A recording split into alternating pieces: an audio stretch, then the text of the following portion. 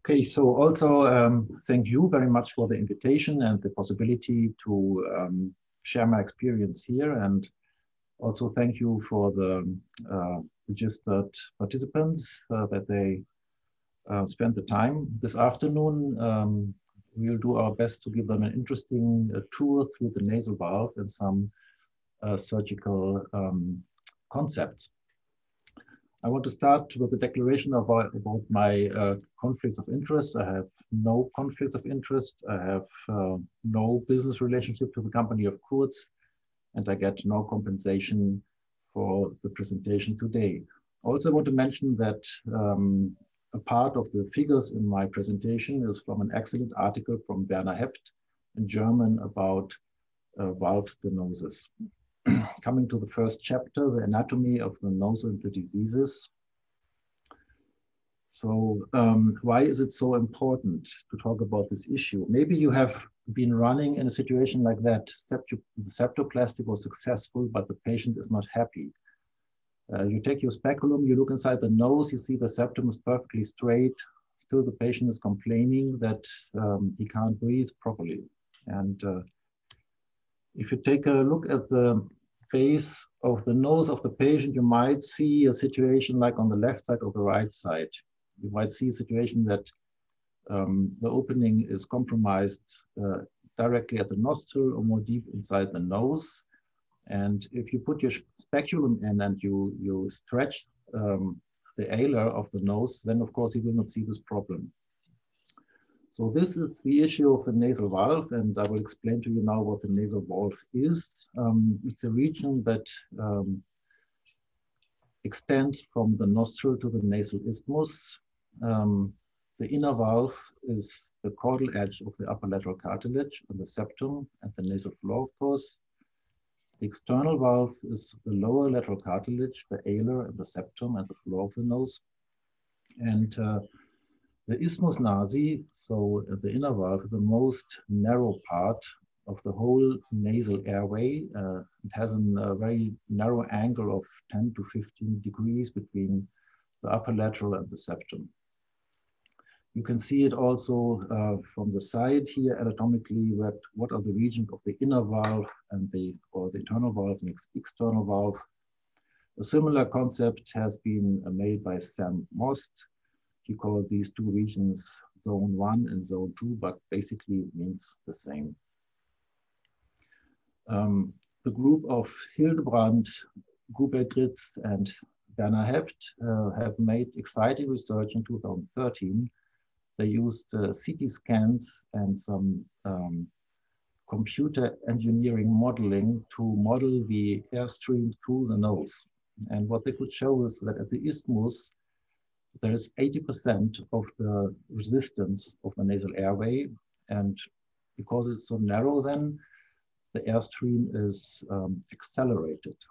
So if we accelerate an airstream, then by the law of Bernoulli, there will be a negative um, pressure gradient of the wall. So the wall will be sucked in. And also it's important um, to keep in mind the law of Hagen-Poiseuille, that um, the diameter of a tube by the power of four uh, relates to the resistance. So small changes can have like a big impact. What is uh, the etiology of pathologies of the nasal valve? Um, mostly congenital or degenerative, meaning the cartilage is losing its elastic properties, its elasticity, or traumatic or iatrogenic, especially after rhinoplasty. Mostly the cartilaginous framework is involved, sometimes uh, also the bony and the mucosa. Mainly um, contributing to stenosis of the, uh, of the valve are lower lateral cartilage when the lower lateral cartilage is weak or malformed or malpositioned, or the upper lateral cartilage also weak or overlong or cranially rotated. Also, of course, caudal septal deviation, a narrow bony piriform aperture, a tension nose or ptotic tip can contribute. So it's important now a bit to get to gain clarity where the problem of each patient's nasal valve uh, is located. You have to pinpoint it. I want to show you two uh, typical examples. Uh, in this young lady, you can see that um, the alars are soft, that they are standing very narrow, especially if you look at the base view, you can see because of the short um, lower laterals, um, the columella is very wide. So this is called, oh, this is an external nasal valve problem. And this gentleman, you see this pinched area above the tip of the nose. Um, and in the basal view, you can see this uh, very narrow isthmus or inner valve region. And this is typical for a problem of an internal nasal valve. What uh, diagnostic approaches do we have? Um, it starts, of course, with subjective ones, taking the history, uh, feeling the tip of the nose, um, and then look at the nose from outside during breathing and ask quest the patient to inhale with force and to see if the alar are moving in, if they're being sucked in.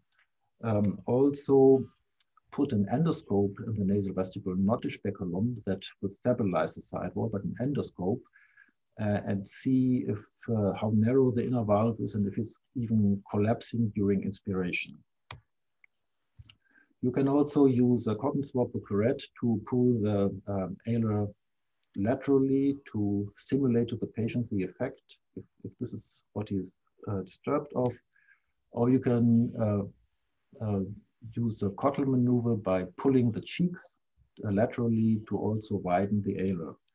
Objective method, methods are rhinomanometry, with or without spacer tubes, four-phase rhinometry, acoustic rhinometry, and if available or if anyway uh, existing, a CT scan or MRI scan.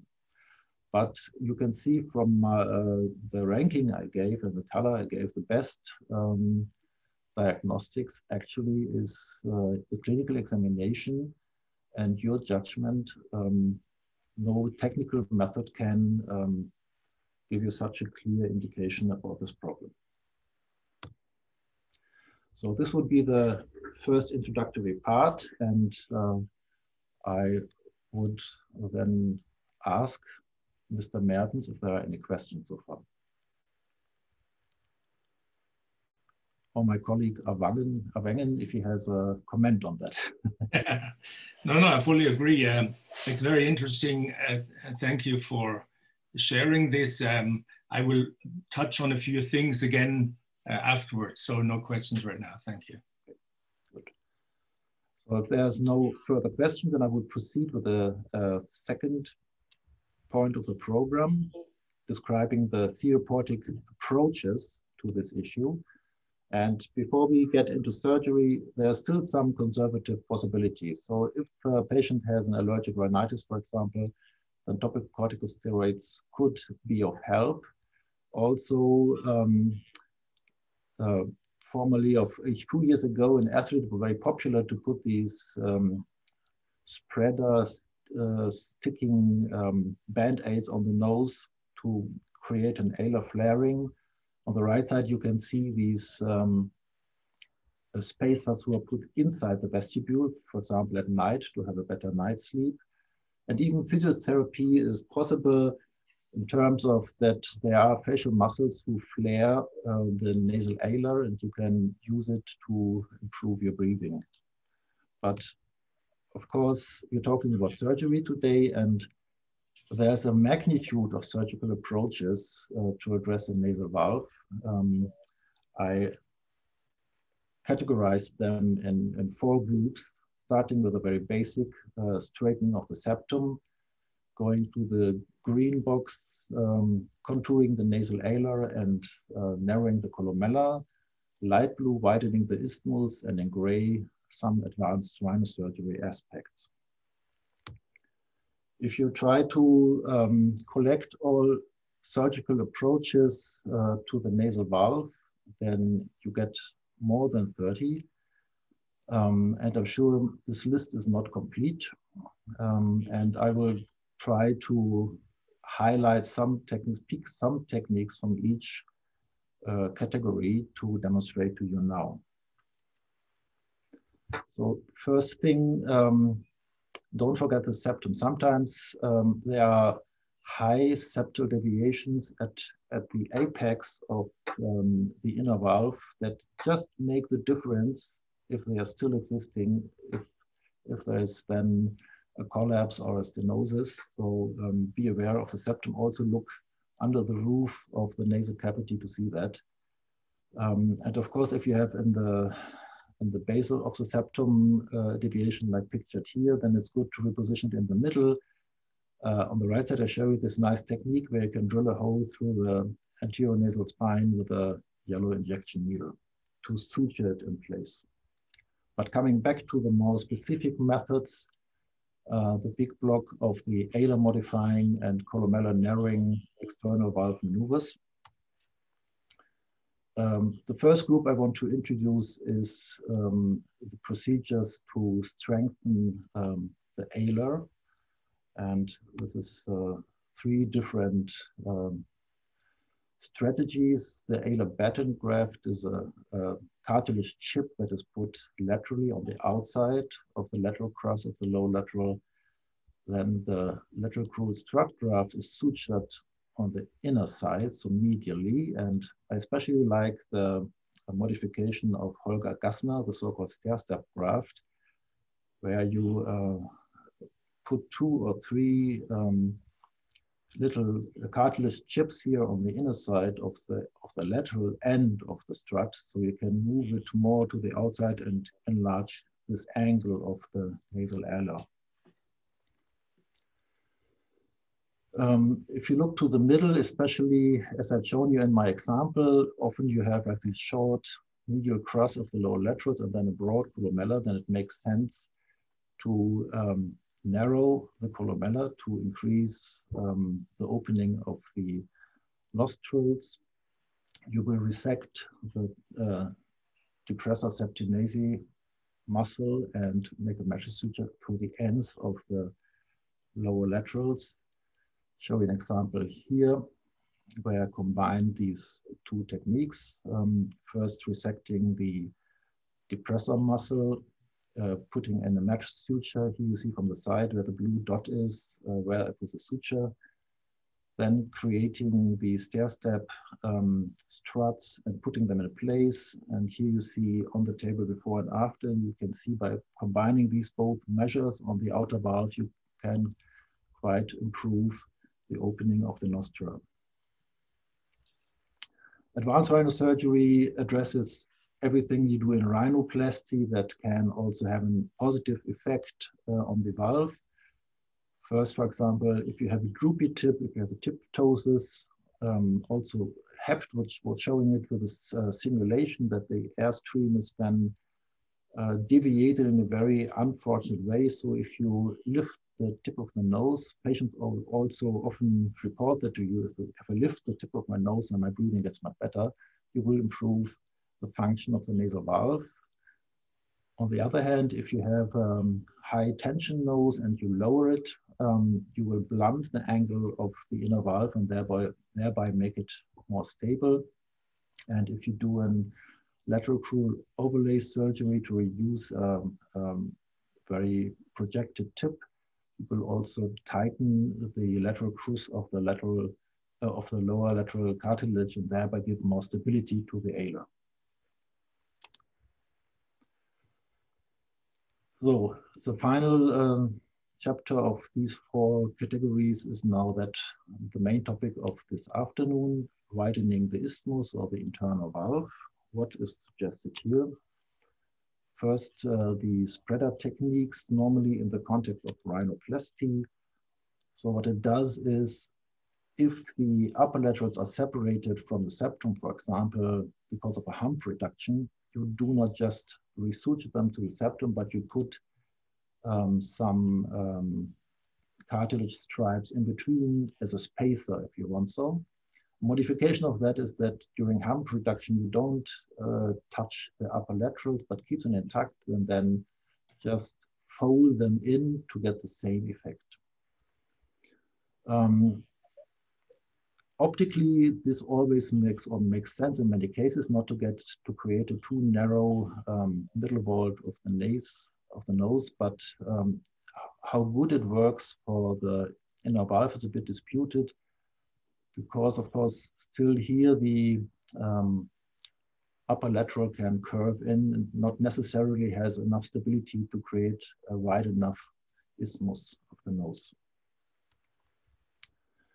Uh, three more techniques that are not related I want to show.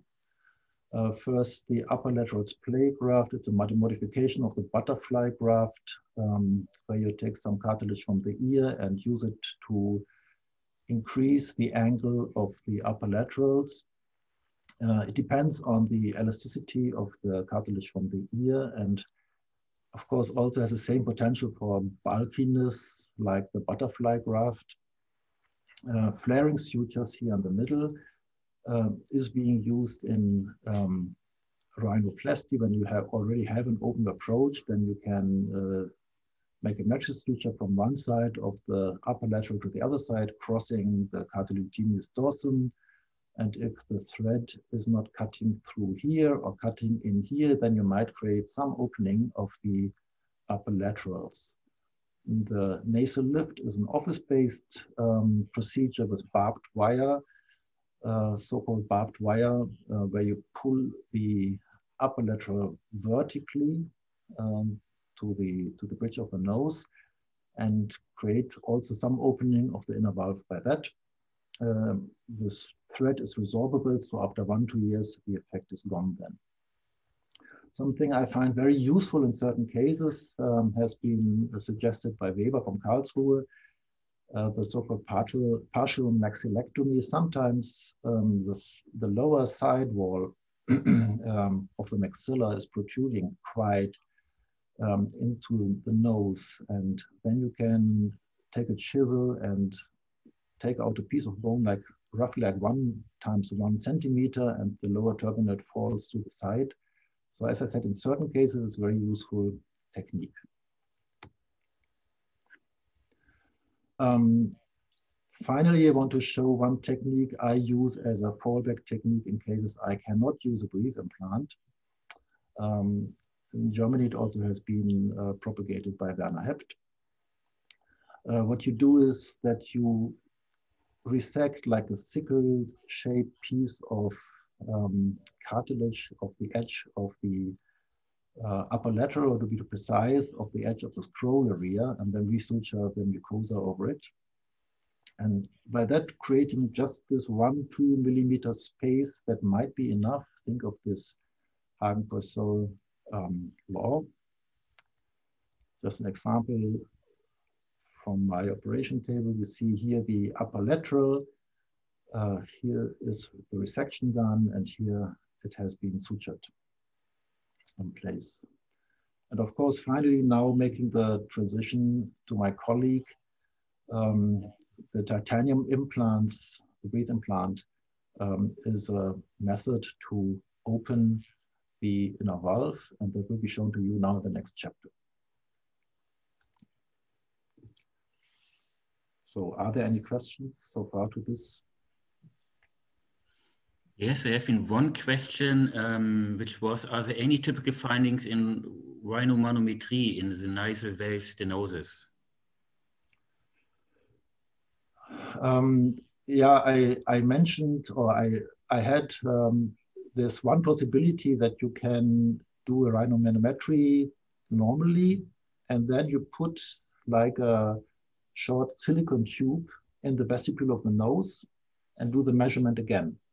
And if you see then a, a, a clear improvement, that is an indicator that shows you that there's a nasal valve problem. I, I, do have an extra slide showing. I had taken it out because I thought it's not so important. I can show it but it's at the very end.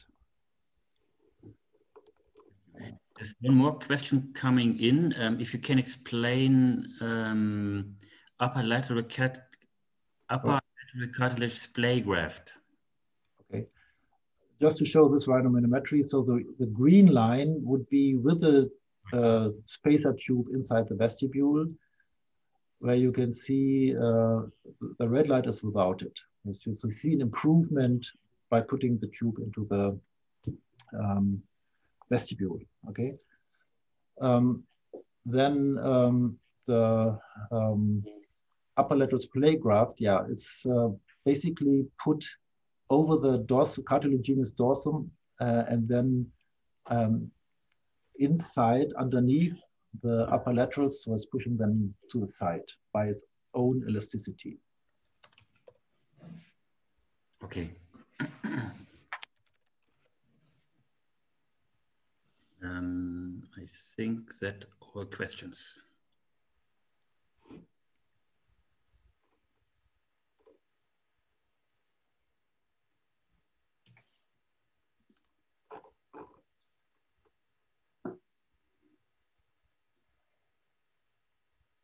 Okay. Um, thank you very much, uh, Mr. Mertens, for organizing this course. Thank you, uh, Dr. Wallner, for being part of the team. I very much appreciate that. It's great to see that uh, you and your patients profit from this kind of idea, which is not a new idea, it's actually an old idea. And uh, we have a lot of work ahead today and um, I would like to start my part with the implant that is uh, 18 years old this spring. So we'll soon go into the 19th year of usage. So if any of the surgeons or of the uh, people from the sales departments are confronted with that, it is really old and safe and we'll come to that. My disclosure is I do receive a royalty for my implants. I have 25 patents, among them um, middle ear implants, stapes pistons, and now also the uh, titanium breathe implant, of course. So we have heard this part of Dr. Wallner, thank you very much, and the previous techniques. And we come to an idea that is stability. Uh, we want a nose that is good for lifelong stability. If you look at these Angels Bridge in Rome, that is several, almost 2,000 years old, parts of it, this holds forever in these bows. And as Dr. Wallner beautifully showed before, the problem of nasal breathing is mainly in the lateral wall, in the internal nasal valve and the external nasal valves. Um, and the the uh, the valve itself it's often described as an angle. Well the angle is only part of it. It's this three-dimensional space which contributed by the upper lateral cartilage by the septum by the turbinate and so forth. So this is the isthmus the most narrow part that we want to correct. And as dr Wallner beautifully said the septum is the first step we should always take especially in the high septum. If you have a deflection towards the nasal valve area, the patient will always be unhappy. Even though you open him beautifully up below, he will come back to you and say, well, this side is not good. The other side is okay, but I can't breathe here. Um, the septal spurs, of course, if you can correct that, that's not a big part. Reduction of the turbinate is always a step in our surgery. So usually it's septoplasty, turbinoplasty. And then if we have to work on the lateral nasal wall, that's then the third part. Because the lateral nasal wall, as, as was said before, is the main resistor. It's the part that has been under estimated undertreated and the level of the internal nasal valve is rather high in the nose and everything south of it or below it contributes to the external nasal valve. Now, it is not only a, a, a, stability, a rigid stability, but it's a dynamic stability, which means if we inspire, if we breathe in air, if we suck in air, there is a tendency of collapse. And if we have a concave upper lateral cartilage or a weak upper lateral cartilage, that has the tendency to cave in, to fall in, and make a nose more narrow because the lateral nasal wall, this is from a CT scan, you see the cartilages, this is the triangular cartilage, is upper lateral cartilage, lower lateral cartilage. Almost half of it doesn't even have any cartilage, so there is no support in this part. So what we must do is we must try to help this nasal wall uh, be as stable and as good as possible. Now, the patients often come into our office and say, Doctor, I can only breathe if I pull my cheek aside when I fall asleep at night. So they do a spontaneous Cottle sign, which has been known for a long time. The Cottle sign, of course, stabilizes the external and internal nasal valve, so we cannot diagnose exactly where the problem is, but this is a clear sign that the patient has a problem. Or they come in and say, look here, if I do that, I can breathe. If I, if I don't do anything, I cannot breathe. The push-up sign also stabilizes the upper lateral wall. Where is that darn internal nasal valve? From the outside, you can't really see it. That's a soap dispenser where you can say where the finger pushes on, that's about where it is. And when you look at the nose, put away the speculum because the speculum artificially uh, um, dilates and makes the lateral wall rigid. We should only use the endoscope, or if you don't have it, no problem. Just don't do anything. Just look at your patients from below, look into the nose, and see what's happening with breathing let them breathe lightly, stronger and very strong. And you see what's going to happen with the lateral nasal wall. And if you have an endoscope, of course, then you can put it in and see mainly the lateral wall collapsing. Now, if you see the collapse mainly up here, it is probably the internal nasal valve.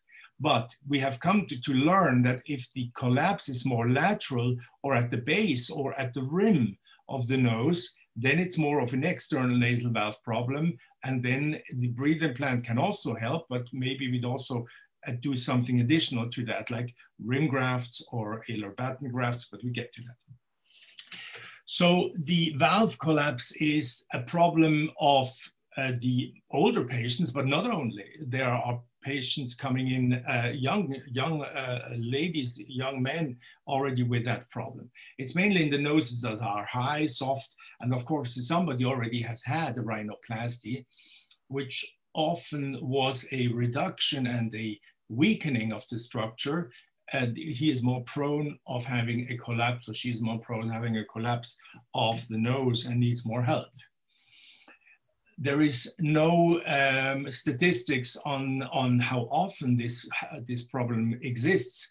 But if you look at your patients and you, you search for it, you see it much more often than you thought before. So look for that instability and, and a significant number of the population does have a problem in that area and needs help and has so far not been treated well uh, often. The problem is with the law of flow by Hagen-Poiseuille that the volume that flows through a system where the most narrow part is here, it's the diameter exponential four. So if we only open that up a bit, it's already a massive volume increase for that patient because the valve is always the most narrow part of a system, be it in an engine, in the, in the heart or, or wherever. So um, and what, what is happening if, if fluid or air go, flows through a narrow part, it is not increasing in, in pressure, but there is a decrease of pressure. Venturi first described this, or Bernoulli is the same, uh, same uh, text. Uh, so this even has the tendency of sucking in the lateral wall more, making more of that collapse. So the main resistance is at least 50%, as Dr. Wallner beautifully said, of the lateral wall. Here we see also what we call a recurvature. The lower lateral cartilage bends into the nose and needs to be dilated as well. So it's just logic to open that lateral wall and stabilize it.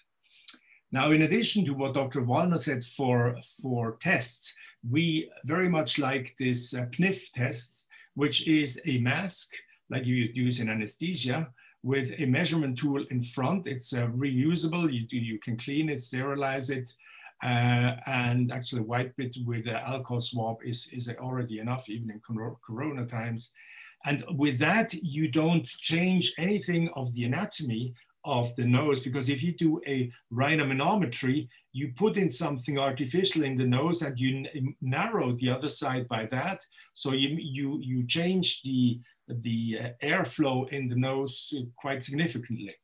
With the PNIF, however, you, you will only push it on the face and then you can breathe in. The, the patient then must do a massive uh, uh, inspiration at, uh, as much as he can. And normal is about 100 to 120 liters of air per minute being sucked in, which shows here easily. You do it three times and then you take the, the highest uh, measurement and that's your measurement for your judgment. Now patients come up with all kinds of uh, uh, ways to improve their breathing. That was a secretary using uh, paper pins and you know secretaries how they are. Sometimes they are a little bit wild in their ideas but for her it it worked. And people sometimes come with tubes in the nose and say look this helps me to breathe but i don't want to wear these tubes or any nasal dilators the whole bunch of them. Now this uh, uh, michael jackson of course when he was a child didn't have a problem but he certainly became had a problem later on after his multiple surgeries of the nose now, who has, doesn't have a nasal valve problem? Probably children, especially with wide and flat noses, as in African Americans or these children. Uh, female, not so much, only if they have a high nose and a narrow nose. But then the Arab nose or the Middle Eastern or, or nose in Pakistan that we often see with a tendency to droop and being high and narrow, these noses are prone for a collapse of the lateral wall and they do need help to breathe better. And if you have an elderly gentleman with this kind of flaccid, soft lateral nasal wall, he is craving for help uh, to have his droopy, the nose grows as long as we live, of course, like the ears, they become bigger. Um, and the longer it gets, the more unstable this nose becomes. So if any of the young surgeons want to have an advice to start the surgery, pick out an elderly gentleman with actually a big nose, uh, so it's easier to see into the nose if you do the surgery, and uh, start the surgical experience there. Now, sometimes a patient comes into the office with actually a big nose and he, he, complains bitterly of not being able to breathe. He has been operated twice before. And if you look at him from below, you must always look from below into the nose. And you see that in the nose, this poor guy doesn't have an air, airway. He has septal deflection on both sides of the nose. He has a, a, a, lower lateral cartilage recurvature coming in, filling in the airspace, and an unstable lateral wall as well here, the, uh, the edge of the upper lateral. So these patients do need help. And if you think we came from this side, this is the right nose, to this, with the implant of pulling it out, of straightening the septum, this is an incredible increase for, for him. He was a shoemaker and he was so happy he promised he will make me a custom made shoes, but so far we haven't come around to do that. Patients who suffer from sleep apnea are often undertreated, underlooked, underdiagnosed. I urge any surgeon in any part of the world, go to your your pneumologist department, talk to your colleagues, because they think the airway starts with the throat, with the uvula, and they look from there down. They have no idea what's happening up there. And the human being is a nose breather, not a mouth breather. So we need the nose, especially if we suffer from sleep apnea. So have those patients checked, get them into your office, look at them, and then you can help them. You will not be able to, to put away with sleep apnea in surgery, but you will help them significantly to wear a CPAP mask so they can uh, survive the, no the, the night without tearing it apart and to have a better quality of life. And we see this over and over. These patients, sleep apnea, are so grateful for that. Um, go ahead and look for them. Breathe Right stickers, the sticker that is on top of the nose, of course, they do work. They work nicely. They pull out the soft tissue of the nose, but they have a tendency to harm the skin. I have patients coming in and say, um, even though they don't work anymore, they can't wear them every day because uh, it hurts the skin. They want a permanent solution. But it's a great tool to diagnose any patient, uh, whether he or she is a candidate for an implant. Now, what do we want to do? We want to, to widen a narrow arch of the nose with the septum in between, of course, to a wider arch, and not only wider, but that is stable. It doesn't actually need that much widening. Often a just a stabilization in position will help the patient so it will not collapse in inspiration. Um, the nasal resistance obstruction is not so much in the septum. Of course, there are septal deflections that are significant. The lower turbinate needs also to be addressed, but at least 50% is the soft lateral nasal wall. And I'm sometimes frustrated also in my Switzerland, my country, when I talk to my colleagues and I tell them, look, give these patients a chance. And they say, no, it doesn't exist. Don't, we don't believe in that. It's long proven that this part needs to be addressed. And as uh, uh, Dr. Uh, Wallner already showed nicely, the flow in the air from the vestibule is, is the most narrow, is, is limited by this internal nasal valve. When it passes that valve, it slows down in speed. But because it is so fast in speed, it causes that uh, Venturi-Bernoulli effect of closing the nose. So if you only open that, that part a little bit, the patient will uh, profit. What is that part also anatomically? It is the junction of the upper lateral cartilage on the lateral part with the lower lateral cartilage, and this is what we call the scroll. And the internal nasal valve is not the nasal dorsum over and over, and we get to that. I, I talk to plastic surgeon uh, colleagues who say, well, I put in spreader grafts, I did something great for the airway. Nonsense the airway is not affected by spreader grafts. Spreader grafts are for the nasal dorsum, but not for the side wall. The side wall needs to be addressed and stabilized, and that must be done. The nasal dorsum actually has this canoe-shaped Uh, uh, uh, upper lateral cartilage where the septum junction is together with the upper lateral cartilage and the scroll on the side here. And what we want to do is we want to open up that most narrow part, but not only in the nasal dorsum as with spreader grafts, but along the sidewall all the way down, because that's the part where the nose is the most narrow. And if we do decongestion, it has almost no effect on the valve. It opens up the no nose inside, but not at the most narrow part.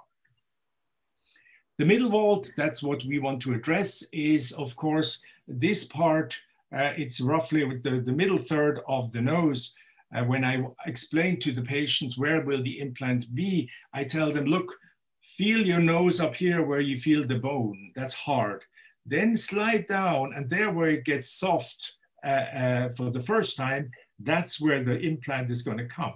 So it's fairly high up in the nose. The patient will not feel it touching the nose, blowing the nose, or doing anything up there. It is, it is rather high where the breathe implant is going to. And when we do rhinoplasties, and mainly or many rhinoplasties are reduction rhinoplasties, we must be aware that doing osteotomies and all the rest of it, we reduce the airway in the nose.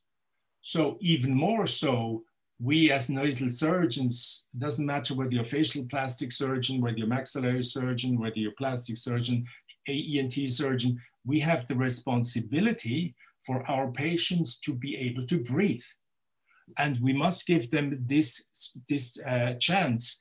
And it, many patients also come in saying, my wife complains, snoring, we have separated our bedrooms and we need a solution. And it does help for that too, not totally, but partially.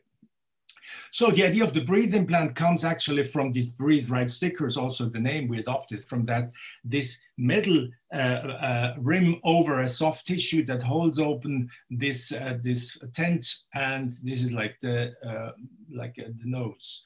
Also, of course, this breathe right stickers is used in sports all the time.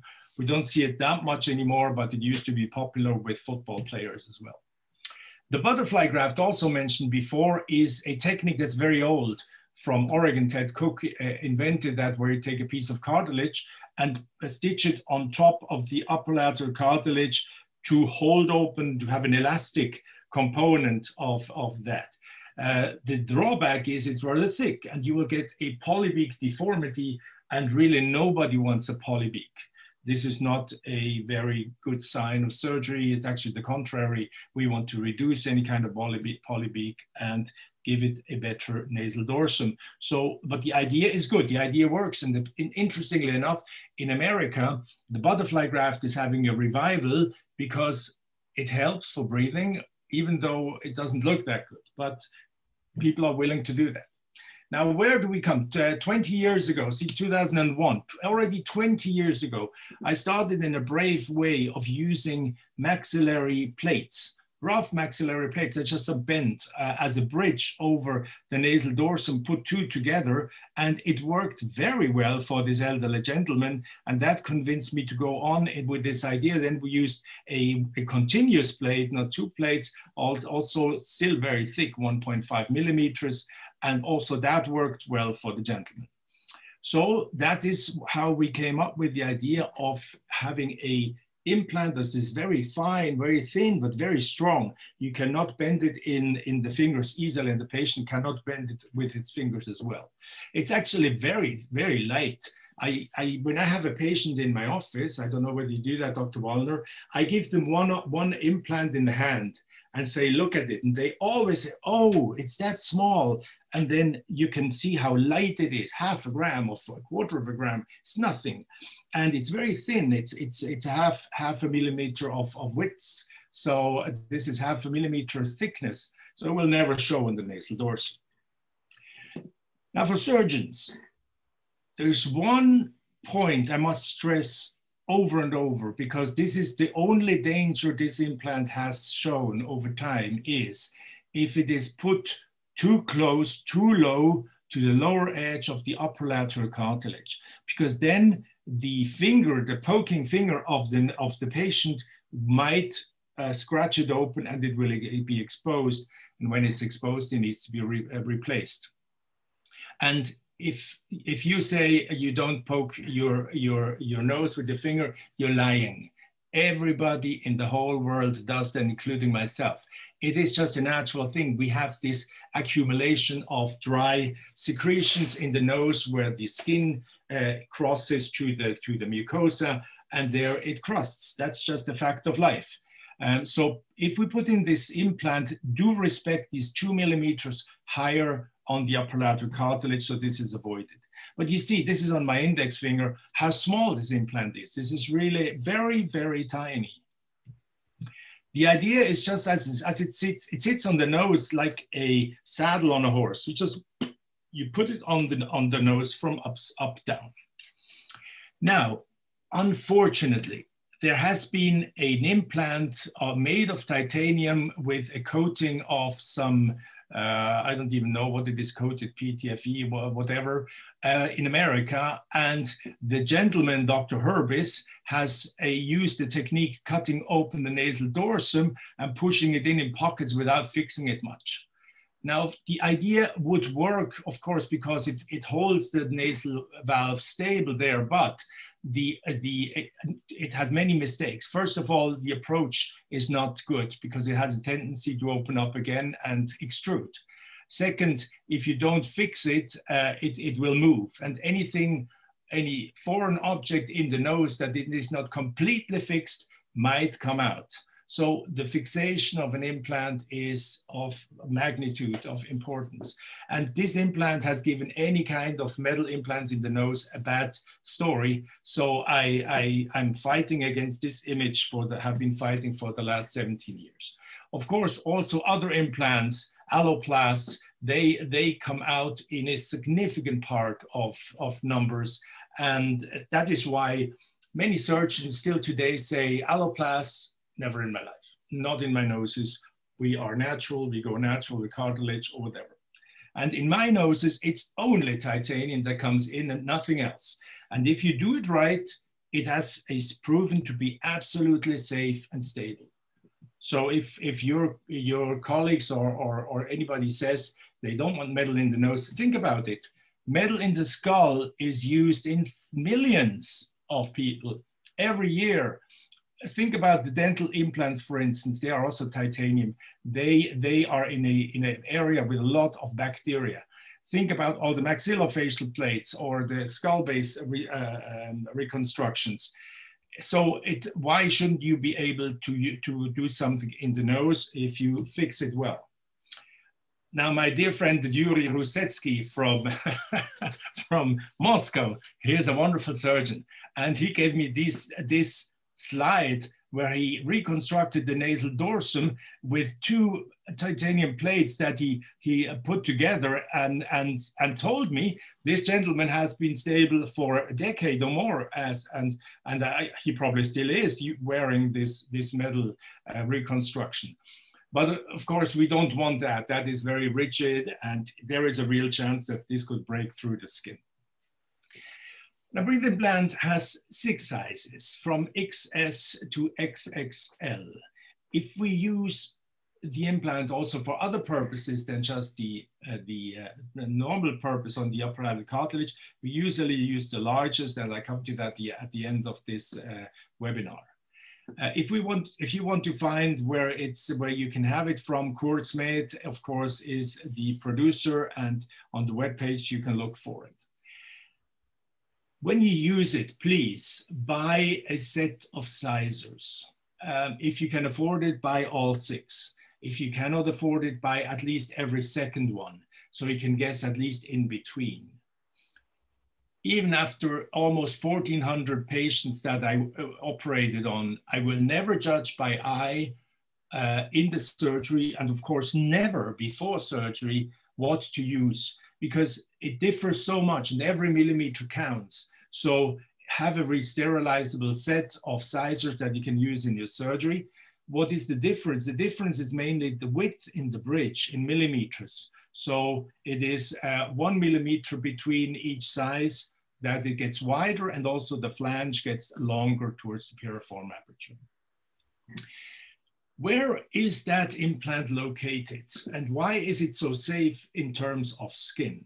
It sits on the upper lateral cartilage here in an axial CT scan and is fixed there and the whole uh, uh, skin over it is thick in that part. So on the side view, here is the implant. Sometimes it's a little longer and extends down to the piriform aperture, but that's roughly where it is. And patients usually can't feel it because it's mobile. They can wiggle it around and only if I say, look, touch it with two fingers and try to feel whether it's a little harder, then they say, ah, yeah, okay, here it is but before they would, they usually don't even touch it or feel it.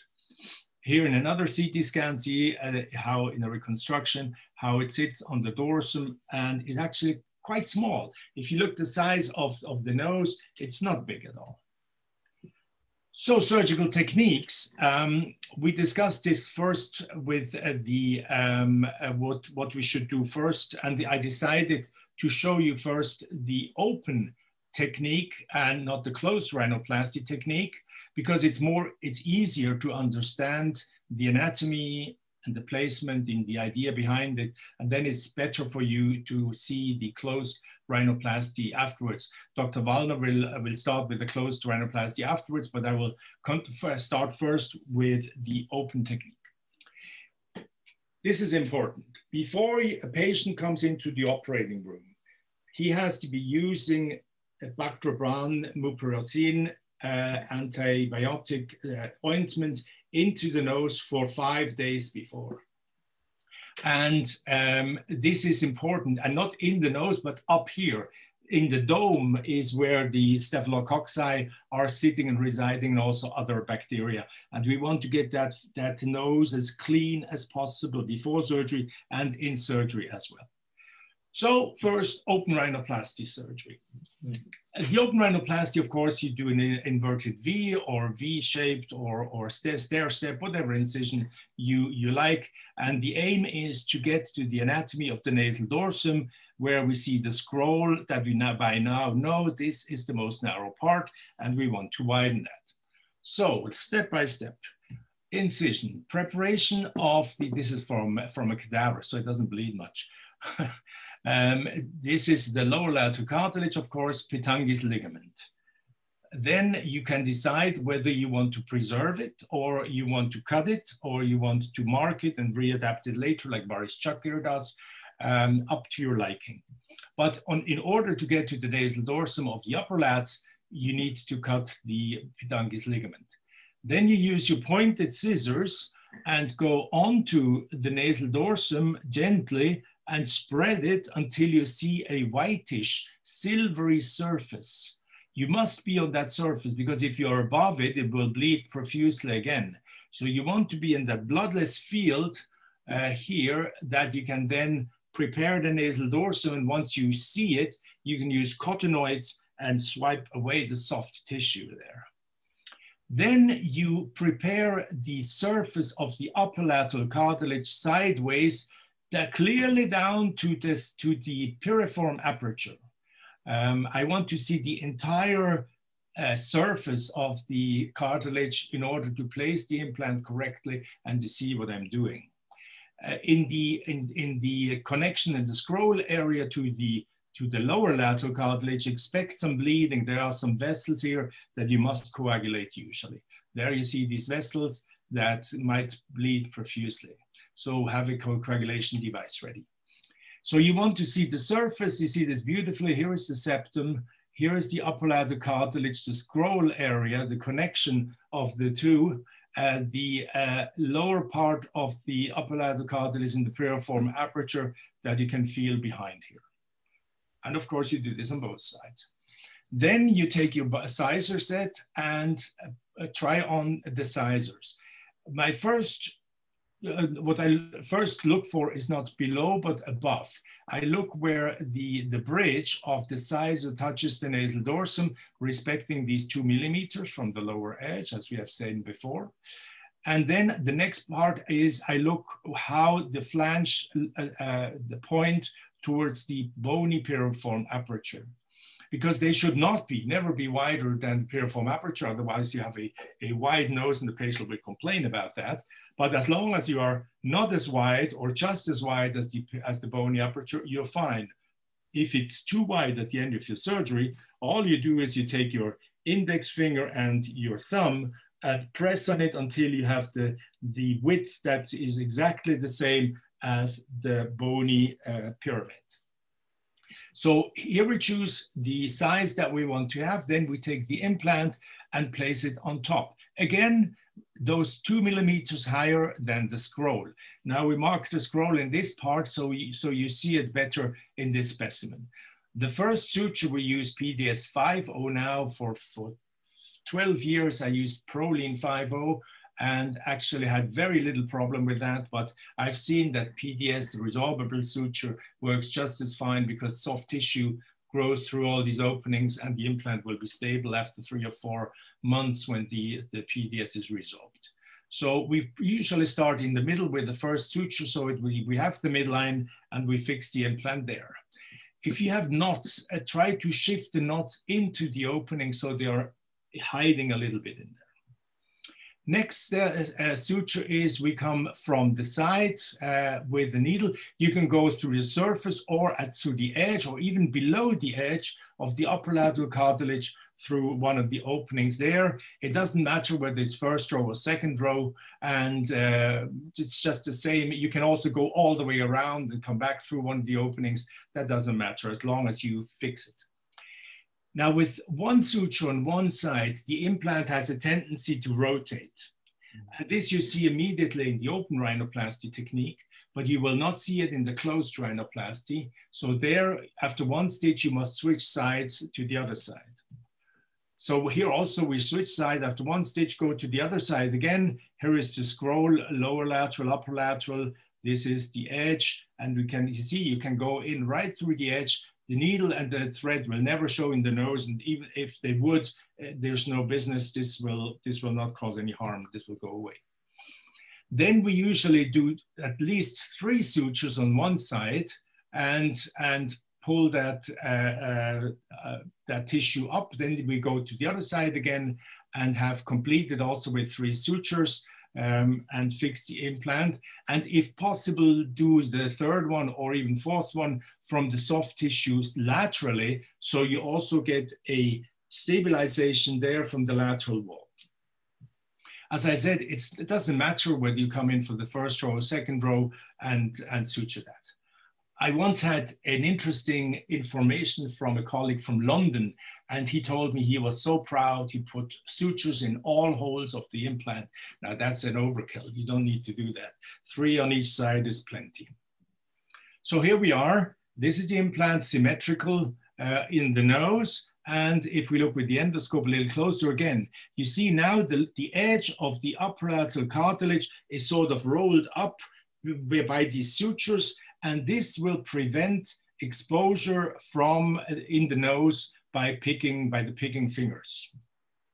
Where is that implant? It's interesting. It's actually much higher than you think. It's not in the tip area. It's really fairly high. In this gentleman, we marked it. Uh, it's, it's there uh, on that side.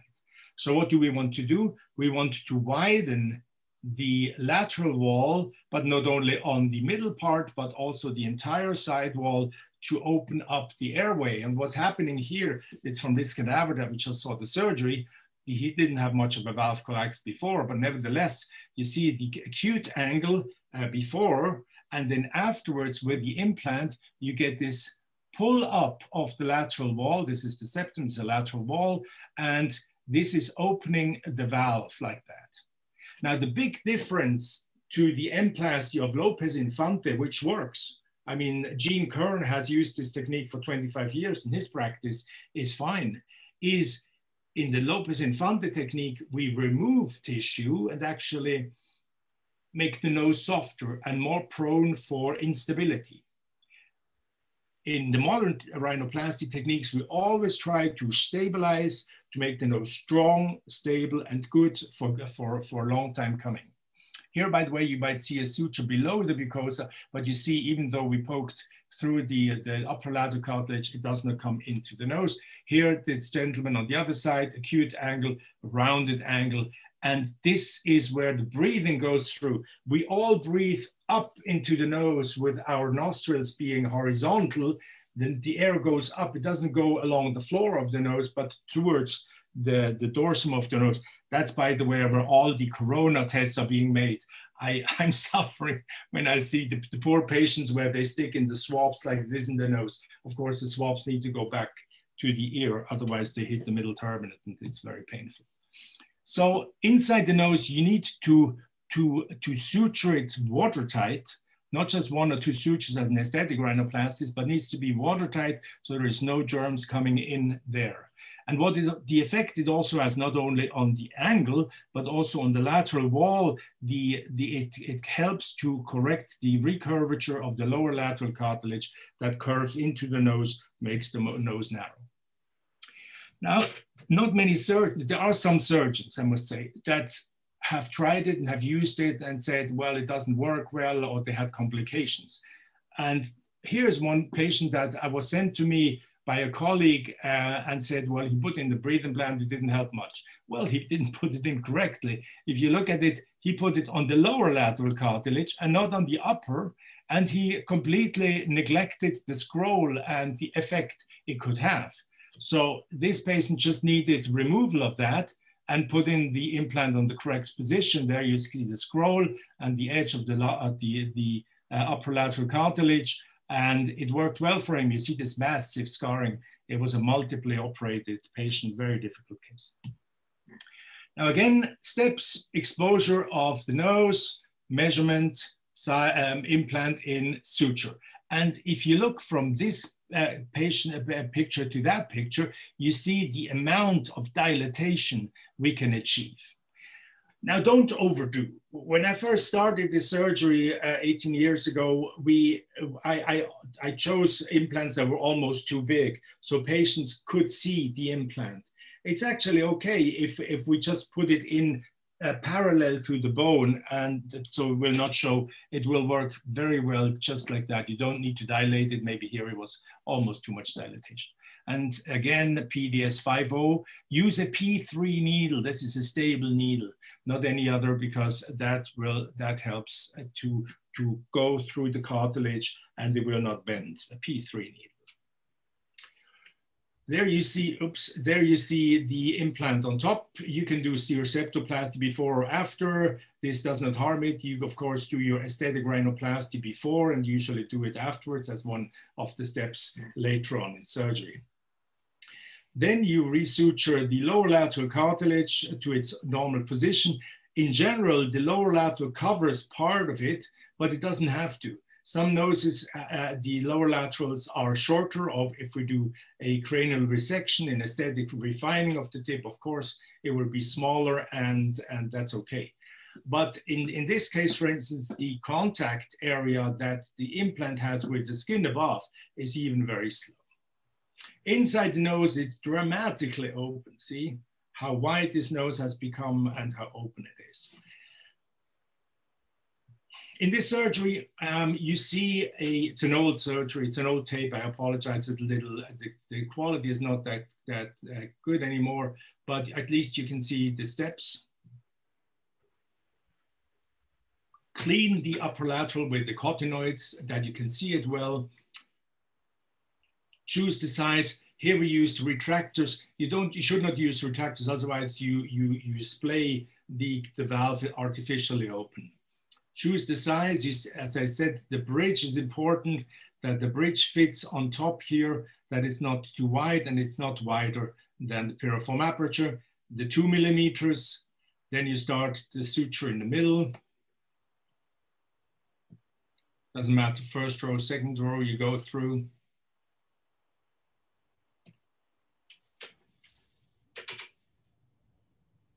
You can have one or two sutures in the middle. That is uh, up to you. One is usually enough.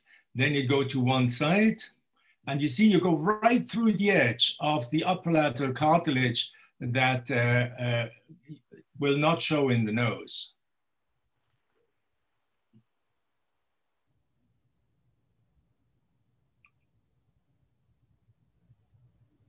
There is some bleeding in the corner. That's where you need the coagulation oops, here I did two on the side, uh, other than I just told you. Well, in an open rhinoplasty, you could, but in a closed one, you should switch side to the other side first so you don't get a rotation. On the other side, you, you have the needle holder backhand to your liking. Again, go through the edge of the cartilage. And all it actually is, it is a reinforcement of a natural structure.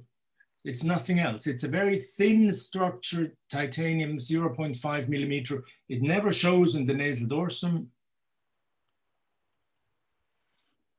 And sometimes it's a little bit difficult to get through in the lateral part, so be patient.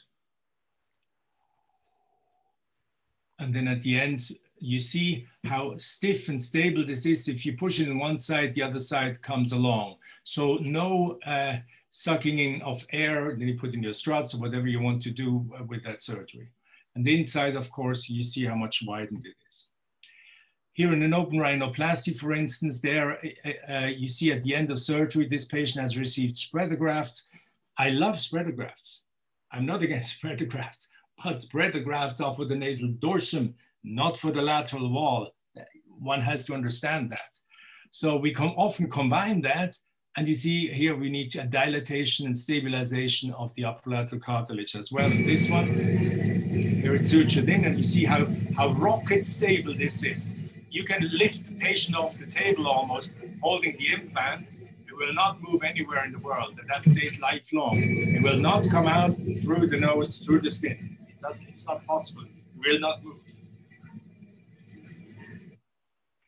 Right, here uh, again in a patient we, um, at the end of surgery, the spreader graft is in. Here we actually used a titanium plate and we get to that later on to strengthen the septum and combine the spread grafts with the breathe implant. So it's the best of both worlds. Nasal dorsum, beauty, structure of the dorsum. Spreader grafts actually structural grafts. They don't spread. Visually, they spread the, the nasal dorsum, but don't, don't spread the airway. It's a misconception. Uh, and laterally, we spread it, of course, with the implant. So um, um, I would be ready to hand it over in terms of closed rhinoplasty to Frank Wallner, uh, but I would be happy to answer your questions first if there are any. Uh, Mr. Mertens. Yes, we have um, two questions to clarify. Is the implant sitting counter to the piriform aperture or is any part overriding it. I'm not sure if I. Oh, yeah. Um, almost never the implant overrides the piriform aperture. Uh, it would be a very small nose and you would use a very big implant, say an XXL or XL in a short, small nose where that could happen. But in general, it does not extend over it. It doesn't need to. It's not like a strut graft or a batten graft that needs support from the bone, otherwise they don't work. But this has an elasticity in itself. Okay, thank you. Um, there's another question. Would you use the implant even if you open the middle vault and put spreaders? Is there going to be um, a link where um, the, the um, people can see these important pictures and tips again? Um, maybe I start with the last question first. And yes, we will um, we will put this video, the whole course, um, on the web page, and all participants will receive an email with a link where they can see it again. But the first question, Professor àWengen, is going to to you if you would use the implant even if you open the middle, middle vault and put spreaders. Of course, like I just showed. If it's necessary, if the indication is there of a instability of the lateral wall, absolutely. Um, those are the cases of aesthetic rhinoplasty. Of course, there you want to be careful not to make it too wide. But I, I tell the patients, look, um, you will have a impaired breathing if, if we don't do that, but I will make sure I'll use a, an implant that just follows the contour of your nose and you will not be able to see it. Mm. Another question from um, Mr. Beckus. How often do patients postoperatively narrow their own implants by squeezing of the nasal dorsum and how easy is it to widen and adjust the implant width in the office? To widen, I never do. Mm -hmm. To make it narrow, you need force. Um, I set the patients in the in the seat if I if I want to do that and tell them, look, it's going to be painful and I have to press pretty hard and then I use my thumb and index fingers on the nose, and I have to press really hard to make it more narrow. And this is because it's painful, the patient doesn't do that himself. I've had patients who come in and say, look, this bothers me, I can see it a little, can you do something? But I would not dare.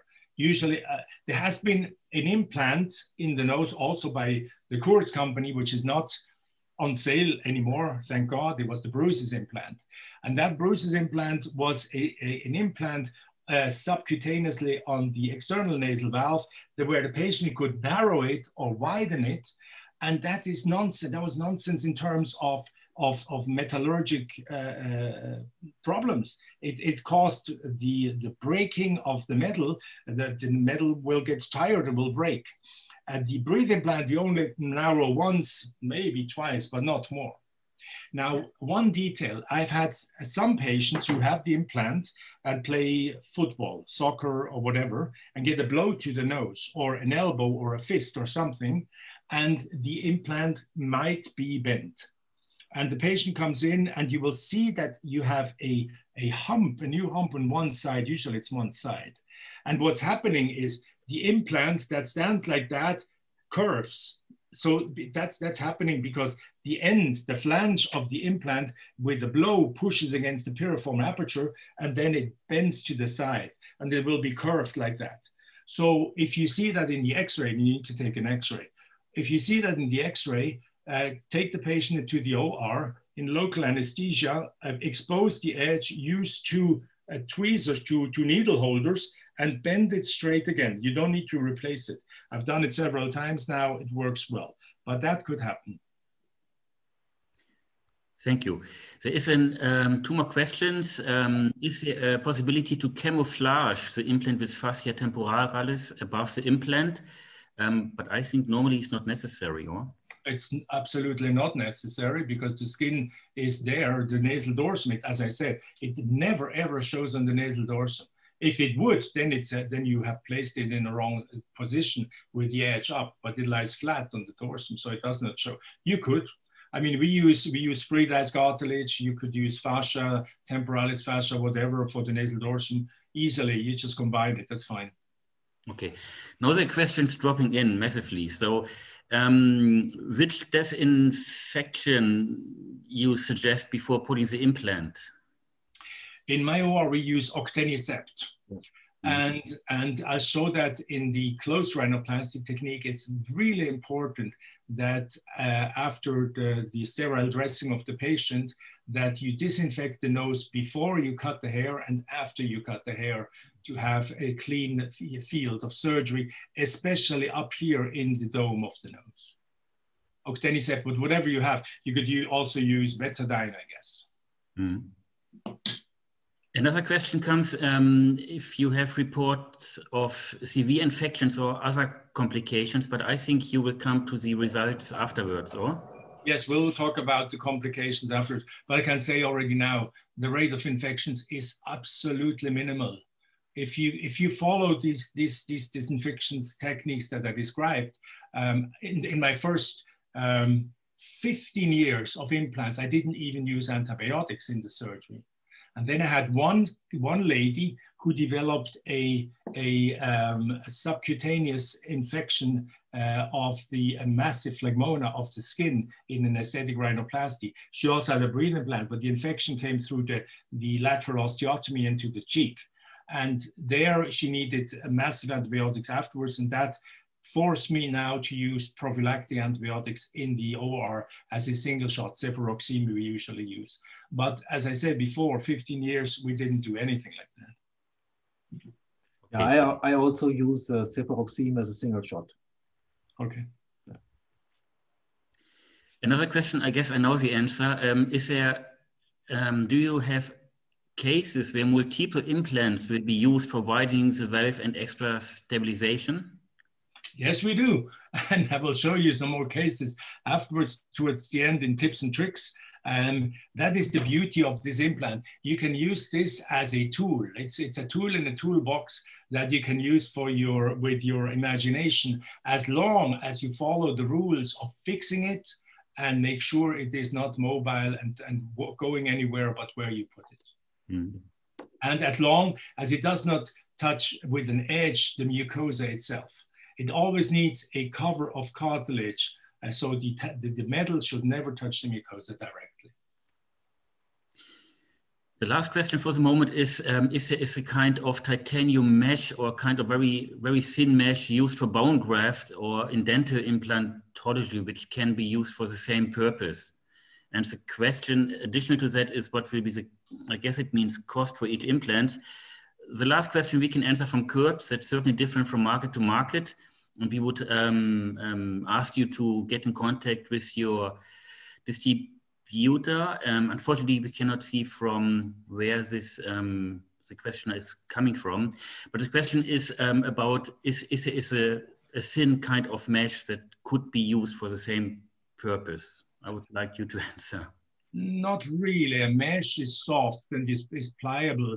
If it has an elastic elastic property, it might work. It could work. But the, the secret of breathing implant is, of course, that it is so stable, so rigid. It's actually very hard. If you take an implant into your hand and try to bend it, you're surprised how stiff this is. Mm-hmm. So the, the, the, mesh is probably softer.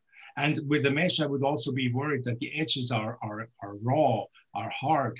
The breathing implant has all smooth edges as all the implants of the Kurz company are treated beautifully on the surface. I have to give them credit that they are really the masters of implants for the ear and the nose. Thanks a lot.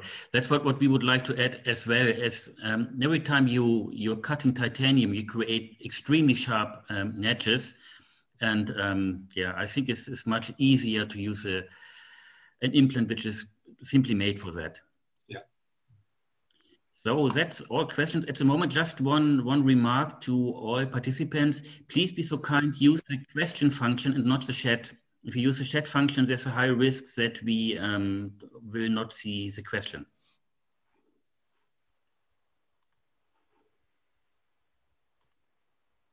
Okay. Now I'm curious to learn from Dr. Wallner. okay, so um, I, I, will start um, first with my my perspective on when to put in the breathe implant and I, I named it choose wisely, do's and don'ts. Um, and for me, the indication is the narrow internal valve and the collapsing internal valve.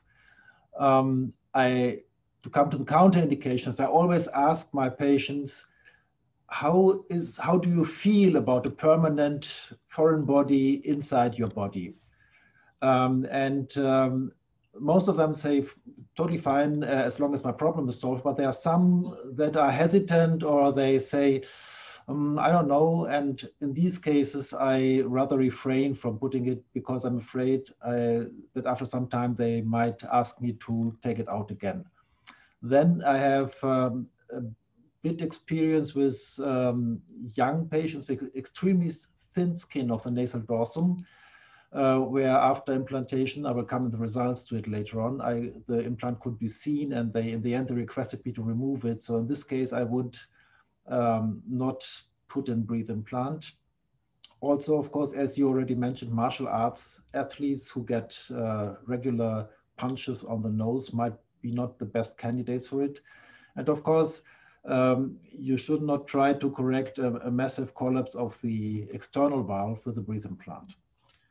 Having said that, um, I show you my internal approach and I want to do it with a bit of painting. So you can see here uh, the lower ledge of the upper lateral of the scroll area and uh, I cut above this region like that because um, as Professor àWengen uh, had shown, if you make a transection here, uh, what you have is you have the upper lateral that scrolls up and the lower lateral that touches in here.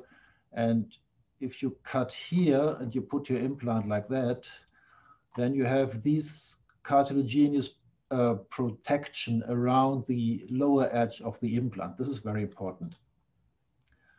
I'll just have to erase that. So here you see the uh, incision being made. It's uh, uh, the classical um, intercartilaginous approach in, in closed rhinoplasty. So you look at the outer surface of the upper lateral.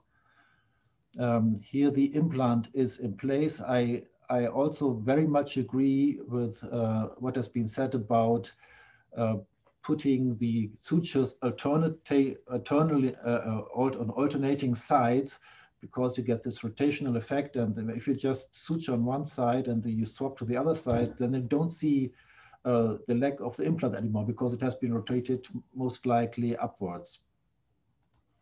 And uh, this is then when it has been stitched up. I also do use a, um, many um, single knot sutures to meticulously close the vestibular skin so nothing is uh, lying open. So that would be my view or my point uh, on this issue.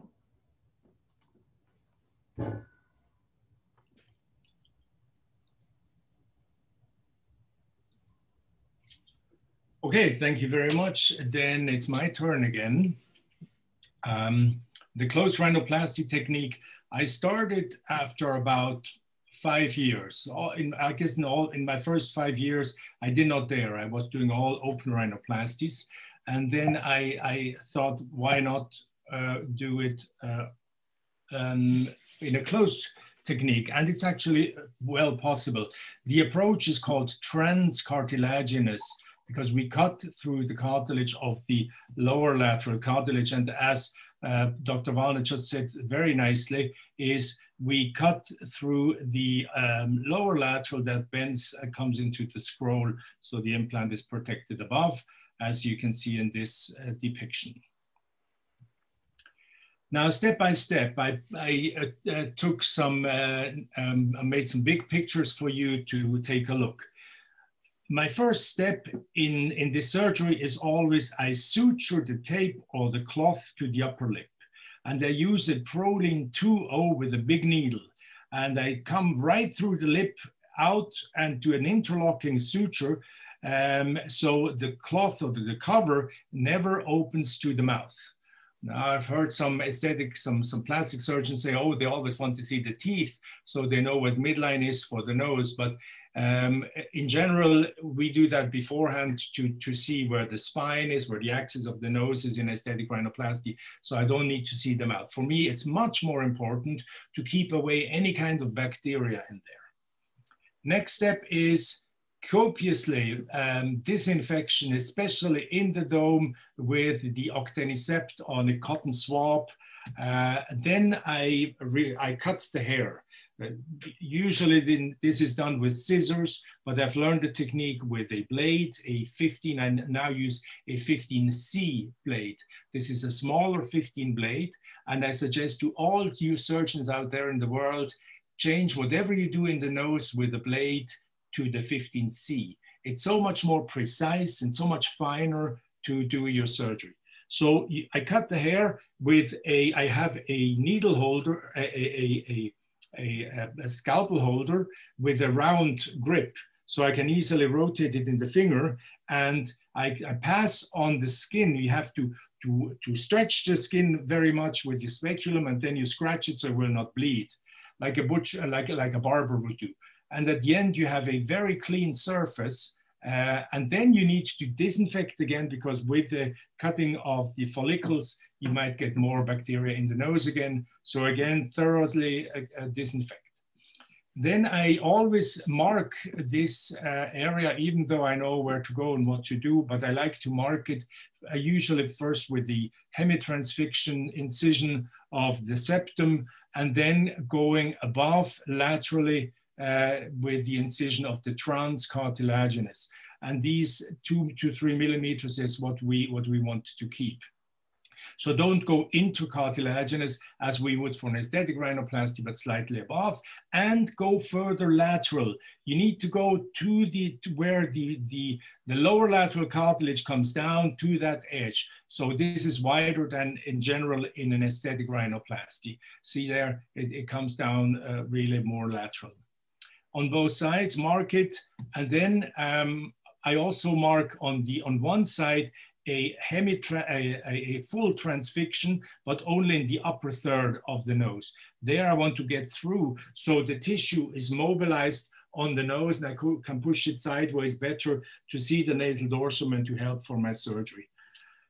Not a full transfixion, but only the upper third. All my incisions in the nose I now do with a monopolar needle that is isolated.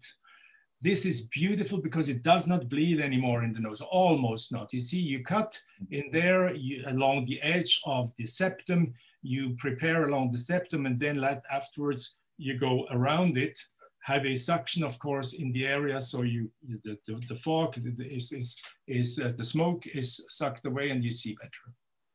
Do this on both sides. And then you start your septoplasty, and after you have finished your septoplasty, then you address the nasal dorsum. Use your pointed scissors, and it's the same as in open rhinoplasty. With the pointed scissors, you point down and you spread and you try to find that silverish whitish surface below the vessels of the dorsum. What also helps is to use a cottonoid to sweep away the soft tissue. Also, this is a, this is a wonderful tool if, if I do a mobilization of the skin down to the nasal uh, um, root all the way to the glabella. I use a blunt uh, tip and sweep away the skin so we have a, a cleavage, a level of cleavage without bleeding. Don't use knives or scissors or anything like that but you need to be prepared. This area can bleed. There are several vessels going around the cartilages that you might have to coagulate. I have an insulated monopolar coagulating suction coagulator from Valleylab here, whatever you have, or if you have a bipolar, that's, that's good as well. We are here on the left side. It's there you see the next step then is to be on the surface of the upper lateral cartilage. Identify that, make a pocket, but not all the way, but just a pocket big enough so you can slide in a cottonoid as a space holder um, that sits then in there. So here I put a cottonoid into that space and that will protect the upper lateral cartilage from injury when I cut the lower, the lower lateral cartilage with the monopolar needle. Uh, then I use a small double prong hook, attach it to the soft tissue there, pull it out, and only then I will use the monopolar coagulation, uh, uh monopolar needle to cut through and expose it, and the same on the other side. Um, this is the incision with the monopolar needle. And then we uh, then the tissue is mobilized, so we have a connection through the trans uh, the, the, connecting part of uh, transfixion in the upper third or upper half of the nose. you then see the nasal dorsum, the uh, upper lateral cartilage that come together here with the septum, of course. This is the, the, the remnant of the lower lateral cartilage where we went transcartilaginous in there. Now expect again, expect some bleedings down there, so be careful to coagulate that, but you need to expose or you need to prepare the pocket all the way down to the piriform aperture. Don't spare any part, you need that to see well. Afterwards, take your sizer and inside, in, uh, slit it into, into the pocket. It's a little bit more difficult to see, but with a little uh, bit of training, you can see that you see how wide it is on the upper part, how wide it will be on the lateral part to the piriform aperture to, to be at this correct position. Then this is important again to against uh, infections. I always rinse an implant bed uh, with octenisept before I put anything in. I also rinse the skin and the vestibule again, so we have a minimal amount of bacteria in this area when we take the implant from the box and then slide it in. And I like to slide it in sideways so it will not touch or it will touch the skin at least with the least amount possible when we put it in there. And there you see the implant in, in its position and uh, immediately you can judge how much space we will gain for the airway where we see where the upper lateral cartilage is sitting and where we wanted to have it. And the suturing is then the same with, through the edge of the lower lateral cartilage through the implant on one stitch on one side, then go to the other. Otherwise, it will rotate too much. Sometimes you need to pull it down into the correct position again, and then you suture uh, the other side, and then slide the, the knots, if possible, into there so they will not uh, be exposed. Complete the other side, and the beauty is the, the tissue uh, injury is much less than with the open rhinoplasty, and also you're much faster uh, a septoplasty, turbinoplasty, breathe implant surgery takes me between one hour 15 and one hour 30 for everything. Again, the important edge that we want to preserve is that cartilage edge that helps that the implant is not exposed into the nose. And also I like to readapt this edge with the upper part again, so we close that transcartilaginous incision. The effect, of course, is exactly the same as in open rhinoplasty, the opening, widening, rounding of the valve, the lateral pull of the lateral wall. There you see that safety stitch. The safety stitch um, also with the PDS 5.0, I start inside now. So the suture head is inside. Wherever you start a suture, that's where your knot is gonna be. So you start inside out through the the uh, lower lateral cartilage on this part, and then you connect it to the other part, go in again, tie a knot, and then cut the, the, the suture short. And this will pull together the lower lateral cartilage and is for safety. This is why I call it the safety stitch. And then watertight closure again with a Vicryl Rapid 5.0 or whatever you use in your operating room. And the effect, of course, is immediate.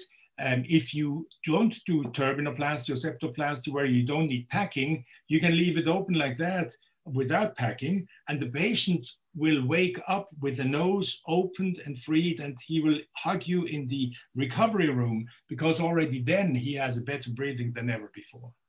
Here on the other side, you see the acute angle of the, of the valve that is now widened, rounded, and opened. This, by the way, is a video that you can look on YouTube just put in a breathe implant and you find the closed and the open rhinoplasty techniques there, and you can get some information from that. Questions, Mr. Mertens? Yes, a couple. Um, the first one is how do, do you measure the size of the implant in the closed approach? Just the same. Yes. the next one is uh, to Dr. Wallner. What is your opinion about spreader grafts in relation of nasal valve improvement?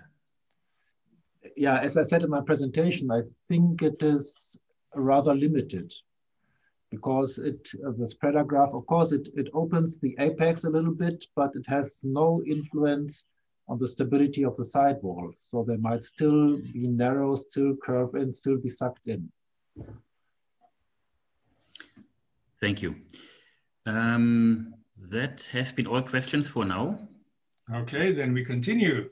Complications. Now, clinical outcome, I thought we start with complications because that's the, always the questions that that uh, you get asked if you if you start this surgery as a young surgeon or if you are a distributor and you need to be able to answer that. Complications are not often.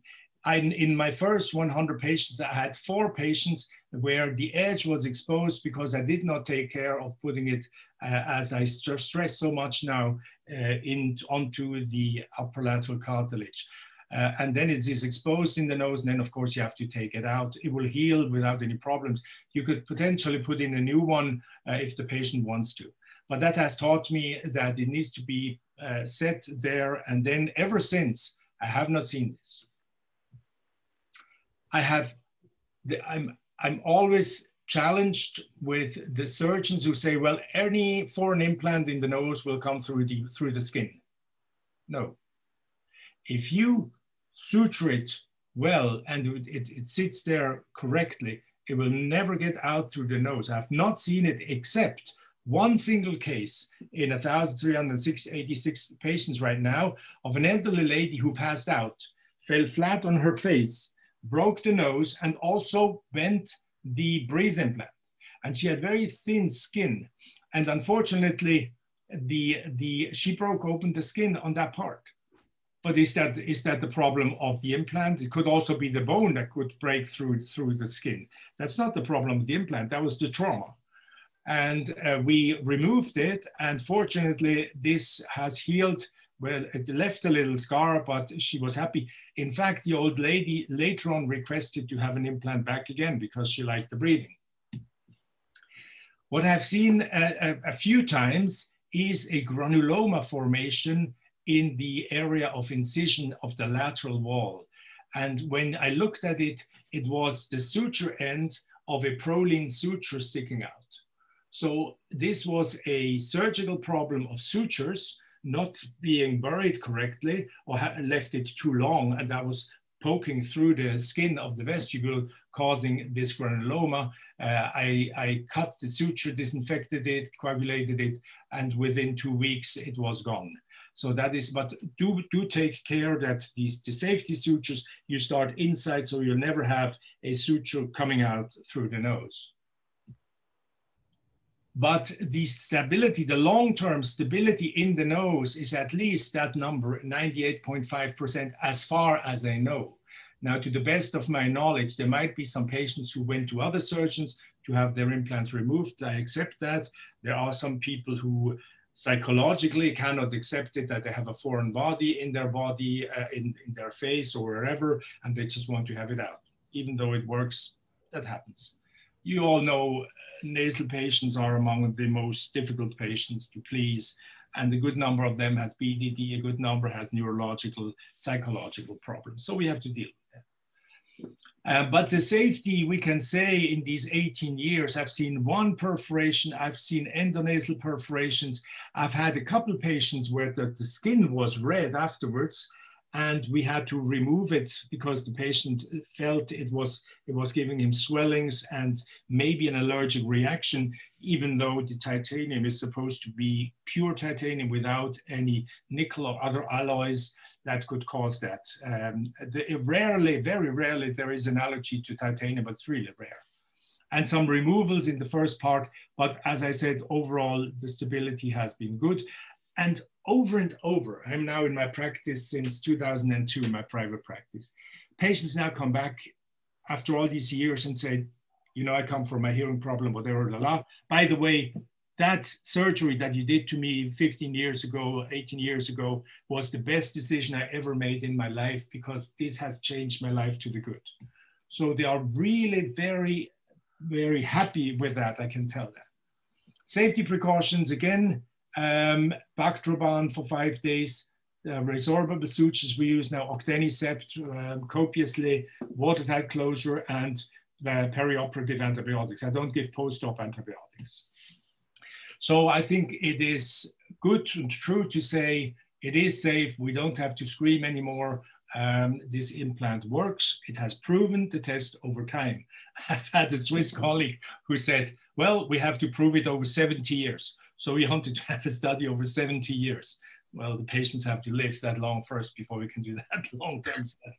But 18 years is good, I think. Anyway, the effect it has now coming to the effects of for the patients is pre-op, post-op, you see this lateralization of the lateral wall and the recurvature problem that is also corrected somewhat. Um, nowadays, I would go to the lower lateral cartilage and cut it there and, and have some tissue removed sideways and, and place it there again with a couple stitches so it will help it further on. But nevertheless, the nose gets cleaner. Also, the crusting in the nose is less. Why? Because whenever the air is, is turbulent, we have a airspeed that is three times as much as in laminar airflow. And when it's fast and turbulent, it tends to dry more. And once the airway is open, the, the flow is easier, is more quiet, and the crusting is less. And here is an inter interesting um, observation over the years. Again and again, patients come and say, you know, actually, I have a severe hay fever. I have a severe nasal allergy.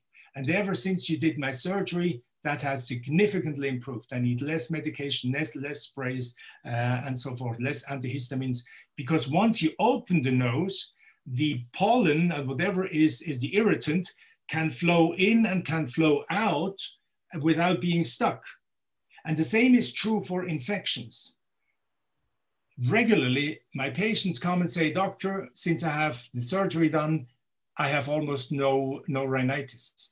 I used to have uh, an infection of the nose every three to four weeks in the winter. My nose was blocked in the winter. I suffered from sinusitis, from frontal sinusitis, whatever. Ever since that has gone. And this is probably the same. The, the, uh, the, the virus can flow in and out of the nose without being stuck in the mucosa, without causing this infection. This is my theory. I have not proven it. It's not scientific, but it's an observation that you will see over and over again. Um, again, we have seen where the, the, the plate, the, the, the, implant is, and you can combine it, and we get to that, we're using the implant as a splint for the septum in various indications there, that works beautifully well. Okay, now um, it's time to take a little coffee rest, um, but now let's go on. We, for the first five years, we did a study, an anonymous study of all consecutive 100 patients that we asked in a, in a mailing, and the turnback was two thirds, which is good for mail in, mail out of, of, of anonymous patients. And the results were interesting. The patient's age was mainly around the middle age. So it's not the very young, not the very old, but mainly people in full work capacities that were suffering the most.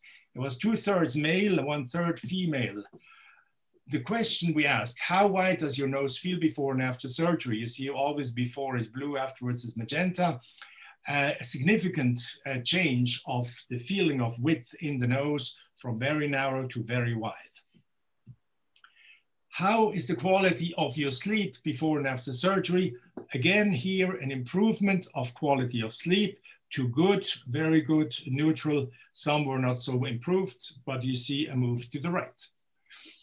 Now, there has been a worry that the nose would get too dry and you would have more crusting, more problems if you open up the nose.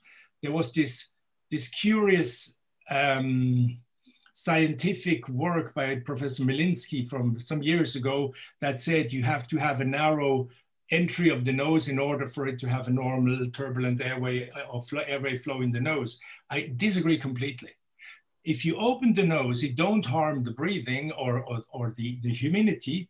And as you see in this one, it's just the same. The nose doesn't get drier. Actually, you get less crusting in the nose. Snoring. Snoring, you cannot um, give guarantee to the patient. And I usually say, look, what will happen is if you can close your mouth, you can breathe through the nose at night sufficiently, you probably snore less or less loud. The, the, the uh, loudness of your snoring will be finer. Maybe your spouse will then be able to sleep with you again in, in the same room, hopefully. I never give any guarantees because we know snoring happens in the throat, in the velum, in the, in the back of the tongue and so forth. And that's, that's there. But an open nose is the first step of treating snoring. If you treat the snoring by cutting the uvula, I don't think that is very, very brilliant to do. And, and also the question, can you have your mouth closed or do you breathe with the mouth? This is significantly improved, of course, much less mouth breathing, less dry mouth. They don't need to drink water all the time as they are doing before. Do you feel the implant? Um, some feel it. That was in the face where I used them, them a little bit big. I tend to have them smaller now. So some of them could feel it, yes, rarely, or some felt no, they couldn't feel it at all. Today is mostly no, they couldn't feel it at all. Does it bother them? No, it really doesn't really bother. Only one patient said yes, it bothered them. As I said, there are always some cycles around. The external width was about the same in a, in a majority uh, or slightly wider. Some felt it was much wider and then we can press it closer together, as I said before. How do you accept the way you look? Uh, does it bother? No, it bothers much, bothers little, neutral. It's actually good or very good, neutral. Does it help in sports, in breathing? Oh, yes, of course it does. I mean, if you want to make cyclists happy or, or cross-country skiers, people who do long-term sports, runners who run for long distances, if they can close the mouth and breathe through the nose at least part of the time, you give them an improvement of their quality in sports. Did the quality of life improve due to this surgery? And if so, how many steps? Some said it did not improve, but a nice part of the patient said 72% um, yes, it improved, and they gave these steps how much it improved for them. And that is also shown in another Dutch paper that was uh, uh, printed in Rhinology in 2018. And the most critical question at the end, did you profit? And I ask every of my patients for quality, when the, before I before they leave my office at the end of the treatment, I want to hear from them, did you profit from this surgery? And you cannot have a good result over long time in all your septoplasties, turbinoplasties we all know it's frustrating. Many of them come back. Many go back to their general practitioners and say, oh, the ENT doc did my nose, but you know, half a year it was good, now it's bad again. We hear this over and over. If we help the lateral wall in a five-year uh, question anonymously, 90% is an excellent number. You can never make everybody happy. And also the second question, would you recommend it? Also, nine out of 10 would recommend it to their friends and families to do so. And I have implanted part of my personal family as well, and I see them, I see whether it works for them, and they, uh, they report to me as well that their allergies are much less, they have less infections, they profit tremendously from it. Marc Bloching uh, from, uh, the, he was in Halle at the time, he's now in Berlin, of course, a dear colleague, also did an early study uh, three years after we started it in his patients, and he found the patient's attachment of cosmetic results excellent, and in uh, the nasal obstruction, much improved, the same as we saw, and the snoring, uh, the same improved. So this is absolutely parallel to what we have found. Now, can we help patients with nasal obstruction? Yes, we can. Yes, we can. Unfortunately, this, uh, nice gentleman is not in office anymore, and we have suffered four years and hopefully going to the better now in America. Yes, we can. Am I biased? Of course I'm biased. Goodness. I mean, it's like your child. You think your child is the most beautiful in the world or the best in school or whatever. Of course, I'm not free, but ask the colleagues that do it. Ask Dr. Wallner Ask anybody who has done the surgery, whether it works for them, whether it works for the patients. Don't ask me. Because our patients tell me for them it works and they support it and they suggest it to their friends and they come back again happy. And uh, yes. This gentleman, a dear colleague from London, for instance, Mr. George Fayad, came early on into my operating room. By the way, everybody of you watching, is invited to my operating uh, room anytime, free of charge. Just call us, see our program, come in, join me. You can also wash in. You can we can do the surgery together. I show you all my tricks. He came to me early on, and he has been active in this field. And he wrote this in his web page, and he tells me he uses about 12 implants per month in his patients. That's what 120, 140 implants a year. That's and he is his patients are as happy as mine. So if you say you don't find patients, search for them. You'll find them, you'll have them, and you have a happy clientele. Now I've put together a number of questions that come up when, when you deal with, with breathe implant and the titanium implant that I want to, to answer. So maybe you could have, have to ask less on the, on, the, on the chat there. I do mostly aesthetic rhinoplasty. This breathe implant would not fit into my practice. Why? If you're a plastic surgeon, you work on the nasal structure, on the nasal dorsum, you make beautiful noses. Generally, you don't work on the septum or the turbinates.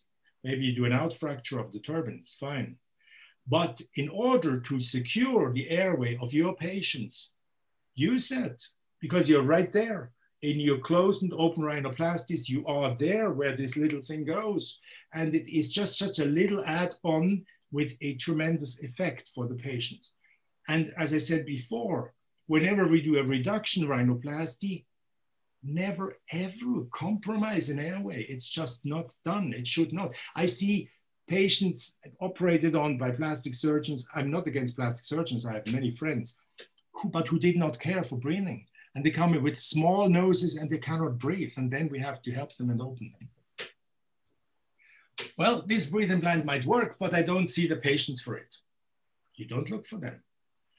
Go out to your colleagues, your general practitioners, to your pneumologists, go to the, the CPAP lab, go to, to them who treat nasal obstruction, uh, who treat uh, uh, sleep apnea, obstructive sleep apnea, and you have tons of patients. And you can, you only find it if you look for it because you have not been looking for it because you did not have a good solution. It's human. When, when we cannot treat something, we don't want to, to wake up a sleeping dog, right? But we can treat it. Metal implant in the nose, never in my hands. I hear this over and over again. Tell them, look, 0.5 millimeter width, 0.2, 0.3 uh, grams, uh, milligrams actually, not grams, milligrams. It's completely immobile. It's fixed. It will not move. And Gordon Soo uh, from, I think it's from Hong Kong, once said, implants that are mobile, like nasal dorsum implants that they use in Asia a lot, they come out because they're mobile. And once they're mobile, they can break through the skin and they can open up. Will breathe implant lead to an empty nose syndrome? No, never seen, uh, absolutely not. And the concept, as I said, Bamlinski is not valid anymore, where you need to keep the mucosa high in the, in, in the, in the head of the turbinate. Actually, I, I go below the turbinate, below the mucosa, remove all the bone of the turbinate and part of the lateral wall and flatten it, but keep the mucosa intact. So I don't resect any kind of mucosa of the turbinate anymore. Um, and the opening of the airway does not lead to crusting or dryness. Would my patients accept this titanium implant at all? It depends how you talk to them. And I, I heard uh, some colleagues say that they ask their patients, well, here, here we have this metal implant titanium. It could help you for breathing, but we also have the natural cartilage that we could use for you. Do you want the artificial part or a natural cartilage? And then, of course, everybody says, well, I want it natural. I don't want an artificial stuff in my nose. Of course, if you ask it that way. But cartilage is not able to do the same spread grafts don't open the nose, period. In what aspects will my patients profit from that? Well, they will have a better nose lifelong. And I prove that. I, I promise that to you personally. They will sleep better, hopefully snore less. Uh, apnea, it might be less, never a treatment against apnea, but for CPAP mask wearing, better tolerated, yes sports, less infections, actually less allergies could be put in here as well. So there are multiple aspects why a nose can get better.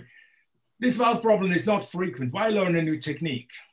You have not seen it, you have not looked for it. It's underdiagnosed and undertreated over and over. What if my patient feels that the nose is too wide now? Wait, I tell them all my patients wait, three months at least, wait until the swelling goes down. And then if it's a problem, as I said over again, thumb and index finger on the nose. If you have a very sensitive little lady, you can put a local anesthesia in it so it will not hurt, but in general, uh, they support that. This is too expensive. No, what the surgery costs several thousand euros or francs or whatever, dollars now. This is maybe about 250 euros and they will save you time and they'll give you happy patients.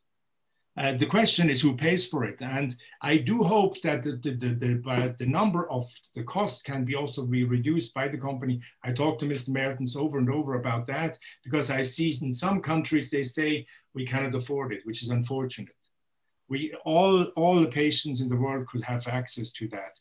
And, and also ask the distributors, keep the price as low as possible, then your surgeons will use it the, the companies with the best prices are the most successful in the world. IKEA uh, um, is, is uh, Walmart.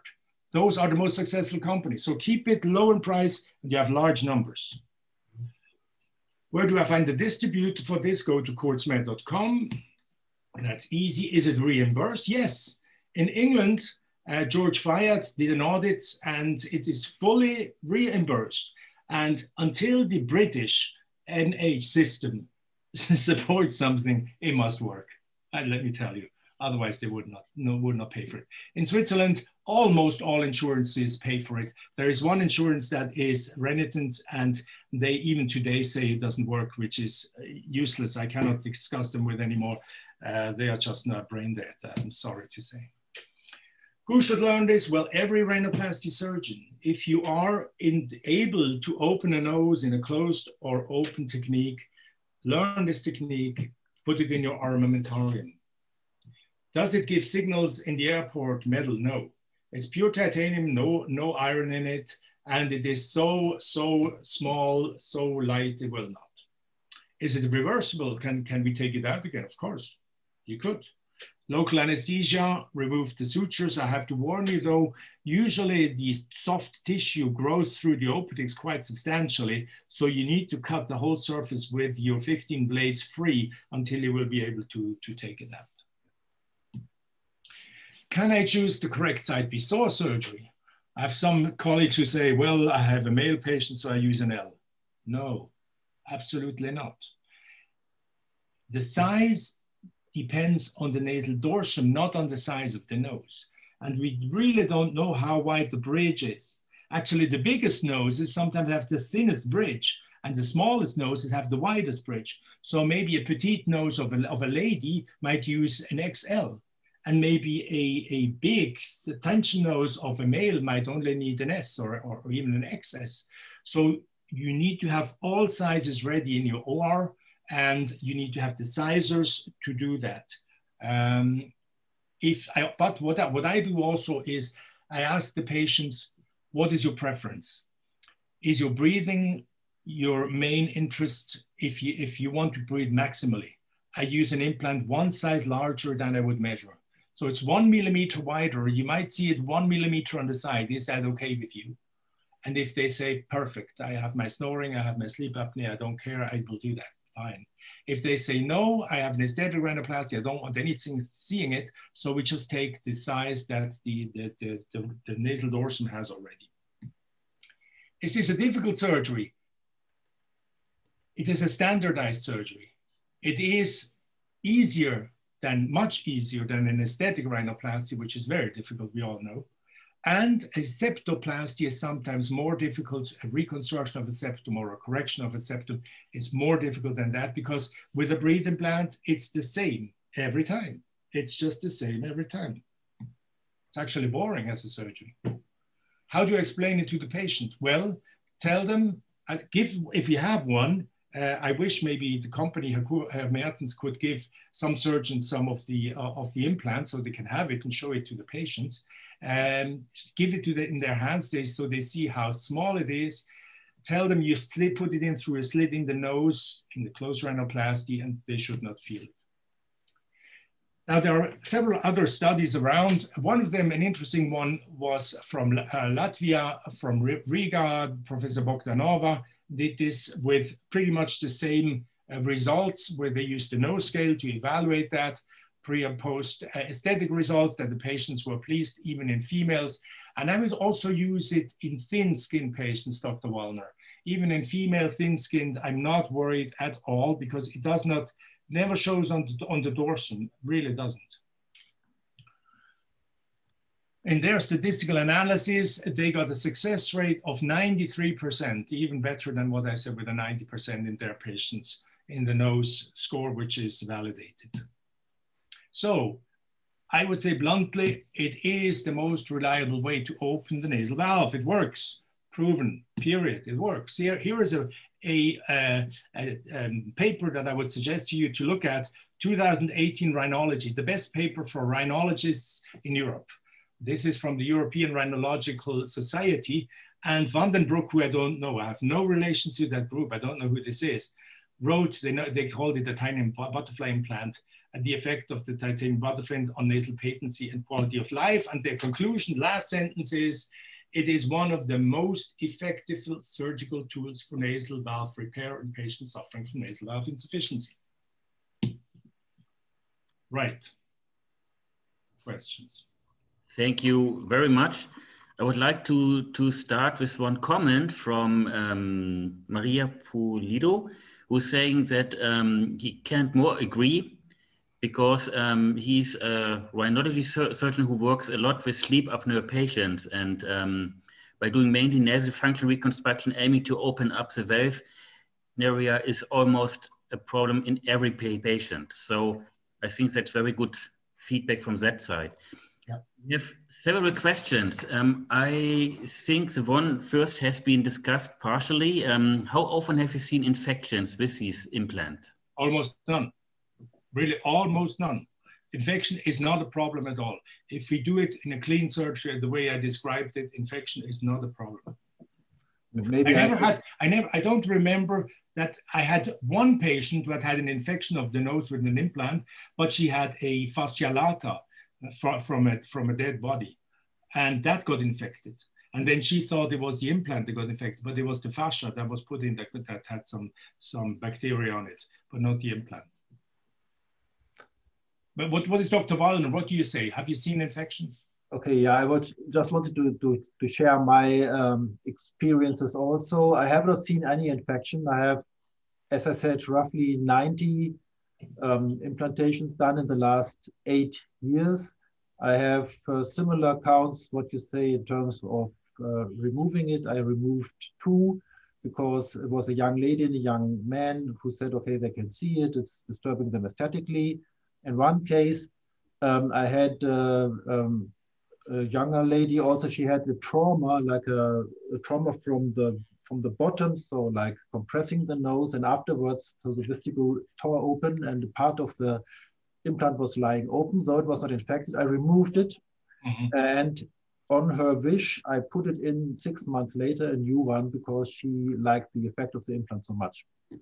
So that is uh, also a similar experience regarding complications like you have. Uh, in, in general, what I get as feedback, the patients I see back is also and mostly very highly pleased. That they say it's a, a very good effect. They have better breathing, better quality of life. Thank you. Yeah. Thanks. Um, one participant is asking about the, the use of the implant as an L-strut, and, and we as Kurz have to make a comment about that. Um, we know Professor when you do that, you use the implant for that purpose, but please have in mind that the Breathe implant is not registered and not approved for that purpose. So if you do that, we know it probably works, but it would be off-label use, and that's important to know. So we cannot, also not in that, that symposium, um, show how to do it, because that would be legally problematic. Who had planned to show that? David, you can think about it. we'll show it off-label use, okay?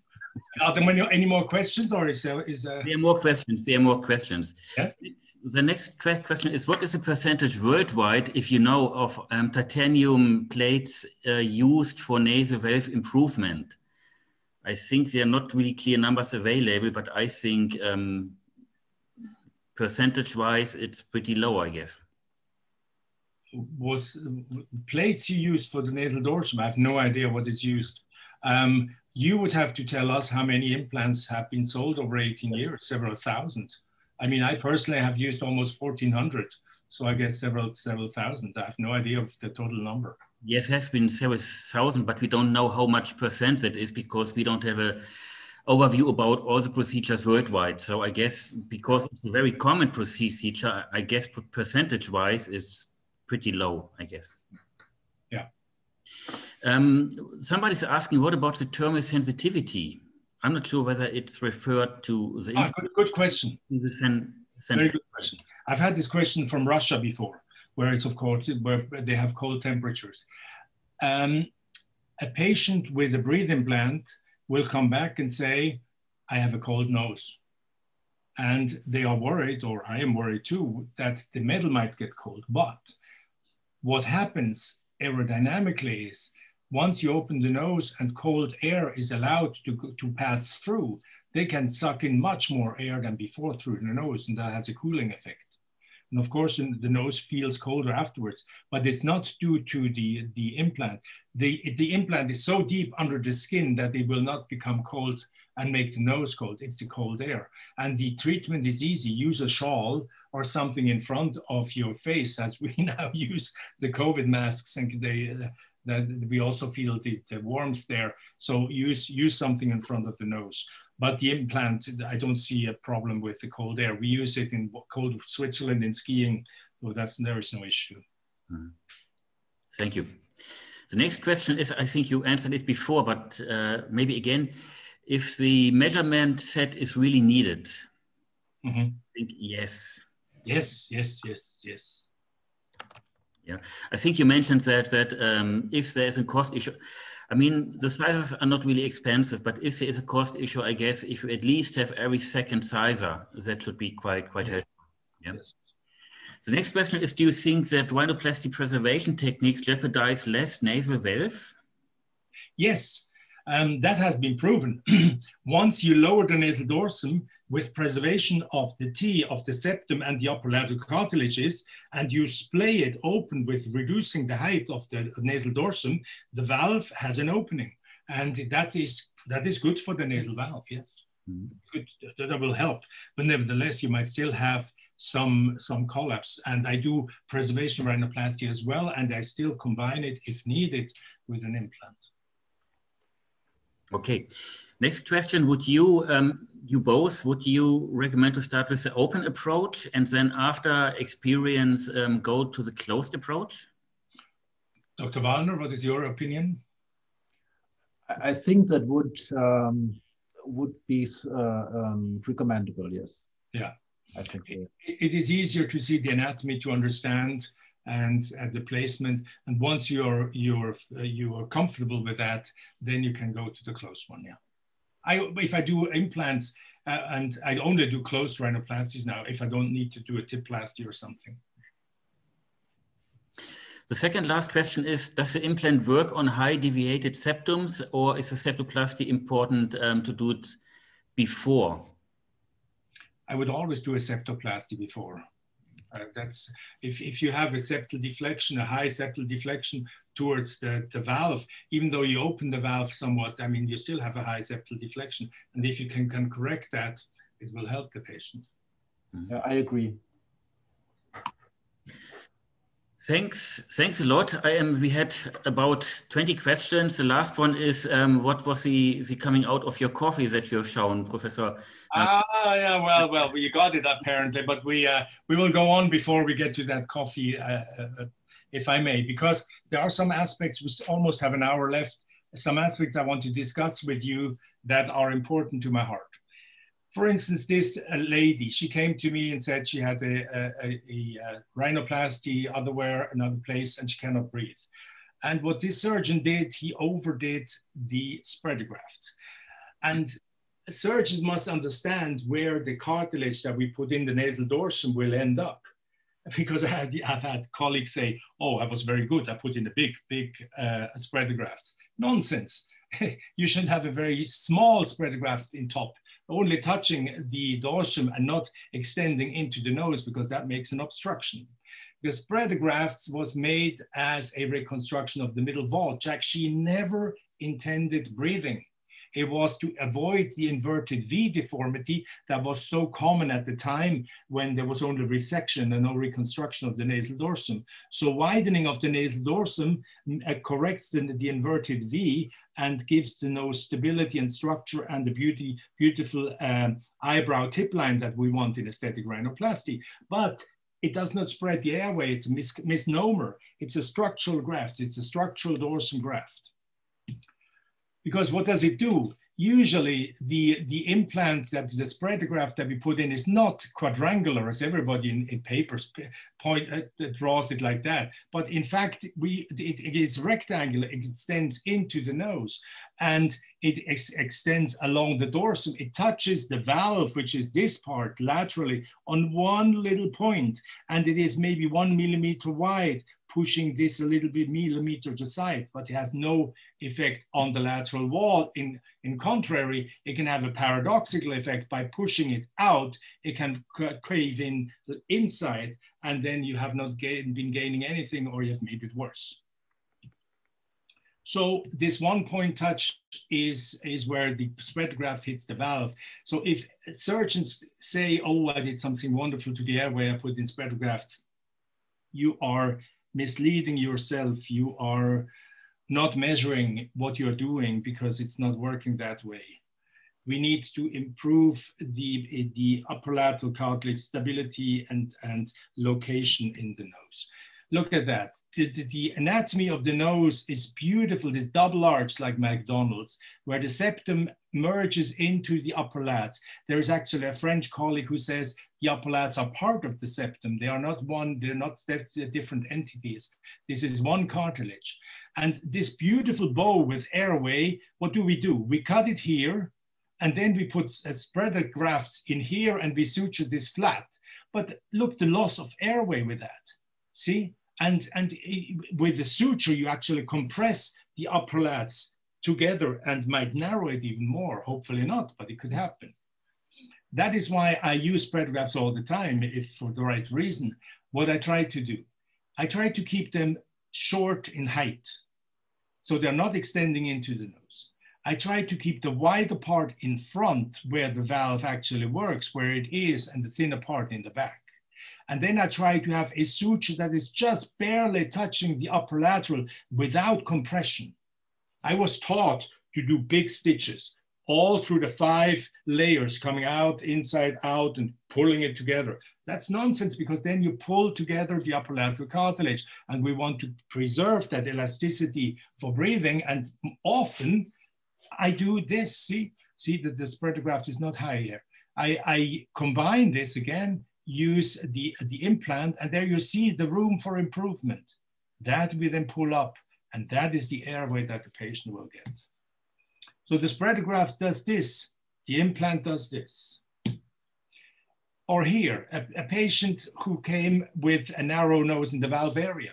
Well, when I dissected it inside the obstruction, that was a, a, a an implant, a spread graft. Taking it out and putting in the, uh, the, uh, uh, the release, this is what opens the airway. And this is the measurement we did before and after uh, with the spread graft versus breathe implant and improvement with the implant. No wonder. Or this patient, she has had a rhinoplasty by a surgeon in Switzerland before, and she was very unhappy. You see, they had this inverted V deformity, collapse of the middle third.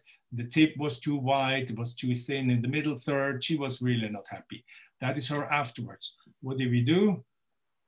Opening it up, you see all this scarring, the difficult surgery, exposed the nasal dorsum. And there I used the spreader grafts to widen it in front, see more than in the back, and used the implant on top of it, the best of both worlds. And that is her before surgery and after surgery, where we have now a nice tip. You can do all your aesthetic work that you want to do in the nose. There is no hindering in there and a stable lateral wall and that's her from the side. There you don't see the implant. The implant would be about in here. Mm -hmm. So in an aesthetic rhinoplasty, we take the, the thinner part so it will not extend. This lady did not have a surgery before, but she wanted to have a reduction rhinoplasty, but she also had a weak lateral nasal wall that had a dynamic instability that would collapse in inspiration. And then what, what I did on her is use spreader flaps. Now, spreader flaps you can only do if you reduce height. And I don't understand sometimes at conferences, colleagues say, well, I sometimes decide whether I should do spreader flaps or spreader grafts, and then I do this or do that on, on the patients. But the truth is you can only do spreader flaps if you do a reduction rhinoplasty, otherwise it doesn't work. But what, if you do that, then you put your sutures on there, uh, that will compress the airway. With the implant, at least you hold open what's left and stabilize it in that way. Here you see the sutures. Also, I've come away from doing the sutures going through all five layers of both upper laterals and the septum going all the way through because that compresses it too much. I, I now do a suture only coming from the inside layer, going parallel, going out uh, through the septum in the other upper lats, parallel and going out again. So it's a mattress suture, U-shaped suture that only holds the inside of the upper lateral and not compresses the whole thing.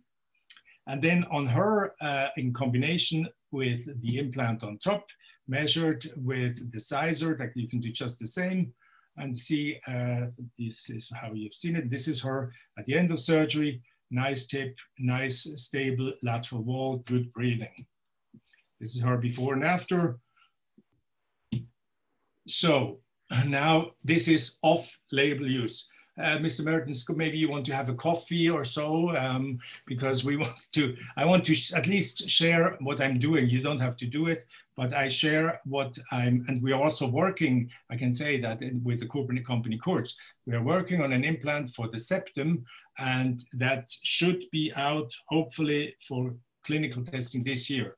I say this every year because I've been working for seven years on that. So I do hope it works this year uh, with medical regulations. The problem often is that we have a septal deviation that is high going into the valve area that is very difficult to, to correct. Any rhinoplasty, septoplasty surgeon knows that. So what do we do? We take the largest XXL breathe implant, bend it in the hand, then it's not, not flat usually. So we want to have it flatter. We wrap it into a, into a gauze, both sides, hit on it with a hammer on both sides and flatten it that way. See, it's now flatter. It doesn't have to be perfectly flat. Disinfect it again in Octenisept and then use it as a splint. And this splint, it has helped me over and over again in difficult septums, in fractures, in, in uh, reconstructions, in spreader, uh, extended uh, spreaders, uh, um, also in, in septal extension grafts. That's what I was looking for. You see this bend of the nose here in front that you can score, you can do whatever you want. You don't get this straight. With the plate, it is straight, perfectly straight. Here we also use spreader grafts on top. You see that I like spreader grafts and the breathe implant on, on top. You cannot com easily combine that. See, splint here, breathing implant there. And these are strong and stable and flat septums in my place. It is great, it works great if you have a fracture that is difficult to reconstruct if you do not duplicate the cartilage. But we all know duplicate cartilage makes narrow nose. So we want to avoid that. Or in extracorporeal septal reconstructions, we can use it as a splint. First choice, of course, is always the perpendicular plate of the nose. I agree with, uh, with the Stuttgart group, of course, but if you don't have it, then you can use that and you can use several. I've had patients where I use two implants in the septum for that reason. Where it works fantastically well is in the extension of the septum with a septum extension graft that is public, uh, made popular by Rick Davis from Florida, where Rick puts it side to side, which makes it narrow and puts it out of the midline for the patient. If you put it end to end, it's usually too weak. But with that plate, it works, it holds. Here is a Thai boxer martial arts uh, man who stopped his career but wanted to have better breathing. His nose was shattered, it was broken. He had four layers of cartilage besides in his nose. So we need to reassemble that part and put it back together and gave him then uh, for the reconstruction a septal plate on top, uh, a breathing implant for breathing, And he, this is him pre and post-op.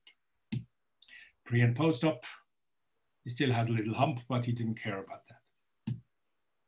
Here is a septum that was has had only had remnants, and I warn you that's really edgy to do. But just to show you, when you are desperate and you, I didn't, I couldn't take rib graft from him uh, that we put in two uh, um, uh, flattened splints together as a U-shaped and put it in the nose and increased the, the breathing there. And this is the patient after surgery. I've recently seen him.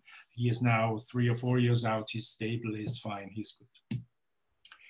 So um, where can you use it in the septum when it when you have bent weak cartilages, where you need to have an extension, where you do extracorporeal work, and we also publish this. So uh, this is not only off-label; it's now also uh, published that it works fine there. But after this series of 30 patients, I saw one patient where he, this, this patient was digging in his nose with his finger and was able to break open the mucosa and expose the implant, and I had to take it out.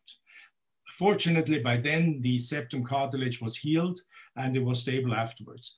But he would also have uh, uh, uh brought open the cartilage. So that was also not the fault of the implant. It was a technical destruction of the mucosa by the patient. And in a, in a cadaver, I, I want to show you this upper um, curvature that is so difficult that we work on uh, with the company Kurz now on the septum clip. Now we call it that you push on the septum and have a straight septum immediately. And hopefully these are, we have three, size, three uh, thickness um, sizes. Now we have reduced it only to two. Uh, and have it with a mesh sh uh, shape so the mucosa can touch the cartilage and not cause any any problems of nutrition for the cartilage over time. Now I have a new, we still have time, a new chapter that I also want to discuss off-label use for the external nasal valve. Now uh, Mr. Wallner is smiling, that's, that's wonderful, uh, because the batten graft is the lateral wall that we want to help, not only the uh, internal nasal valve, but now we are working on the external nasal valve. This is from Peter Palhazi's book, Beautiful Anatomic uh, Depictions, uh, where there is no support in that area. And what we do is we take the breathing implant as a flat plate again and fix it to the piriform aperture and have one part extend into the soft tissue of the nose towards the la lower lateral cartilage and sometimes connected, sometimes not, but have it lateral to the lower lateral cartilage in that pocket. That's how it works. We usually take the largest one, bend it almost straight. You have to adapt it. It's um, Some patients need it completely straight, some need a little curvature. This is before and after. You see the effect you can get with dilatation of the external nasal valve. The cut is in the skin of the vestibule, not in the mucosa. This is skin. Then we prepare down to the piriform aperture. We expose the piriform aperture down there, and at the end, you should suture it, and there is no issue of healing problems. As you know, in the skin and the nose, this heals well.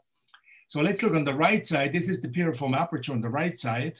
And this is also the technique I now use to, to uh, resect the turbinate with that and, and chisel away part of the lacrimal bone over the lacrimal duct uh, for um, reduction of the turbinate.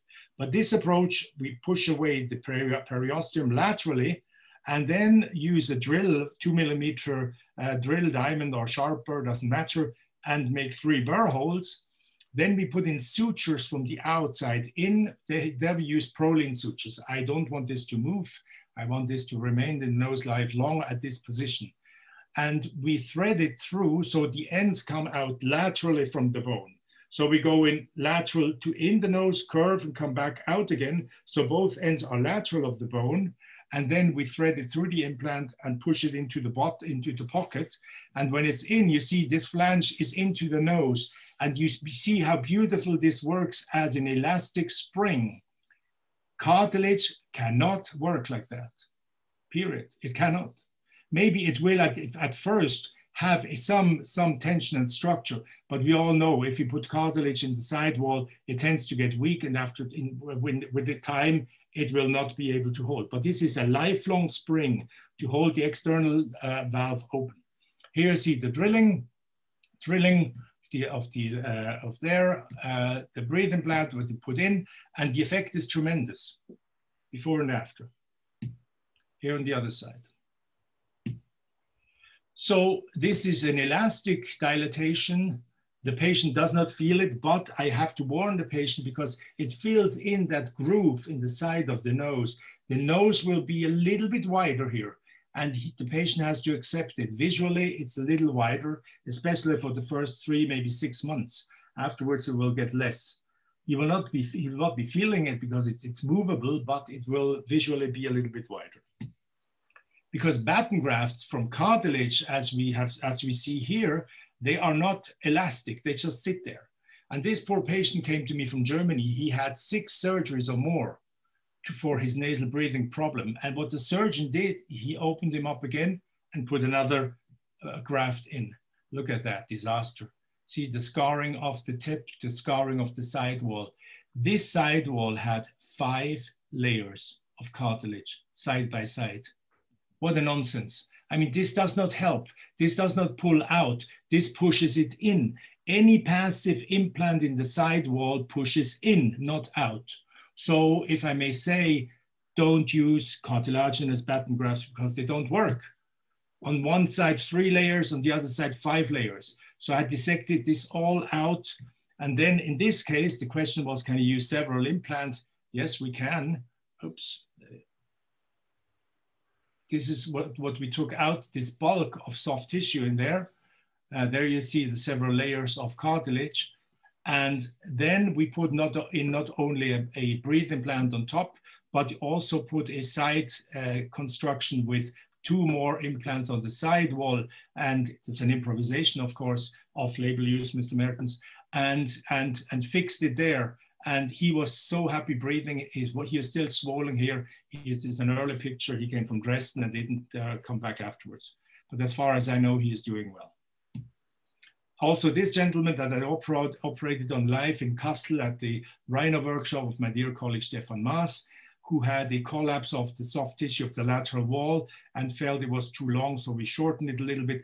But we also reconstructed his nasal dorsum with a metal bridge, if you want to say so.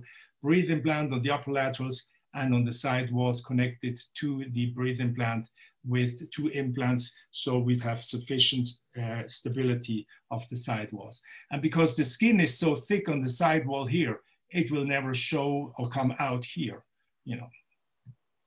So in all in all, I, we could say after these 18 years of experience that these titanium implants are fast, they work, uh, you don't need another donor site, no ear, ear cartilage is too soft, don't use it in the nose. It's, it doesn't work.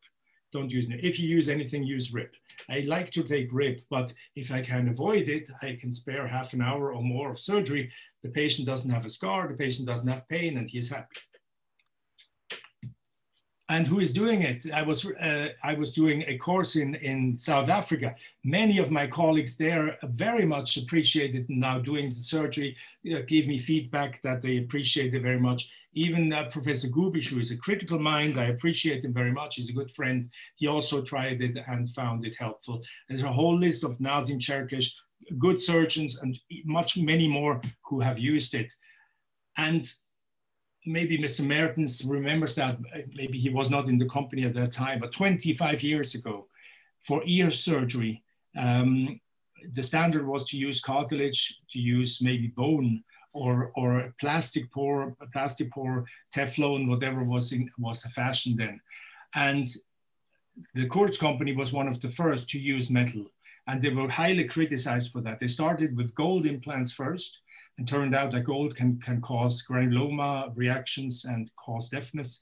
So they, they stopped that and completely switched to titanium.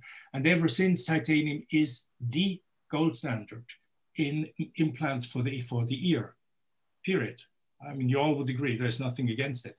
And this is the, this, the clip piston that invented some 25 years ago or so with a company that was modified to the soft clip and modified to the MVP clip uh, that I've been part of. And this is still used and it's working fine.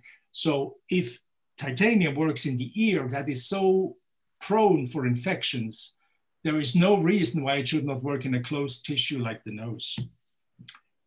So to, to take home messages from my side, uh, Mr. Wallner will give us his home, home take home messages as well, is it has been stable, reliable. It also works for me off-label use as a septum plate, as a batten graft. We do work on the septum clip.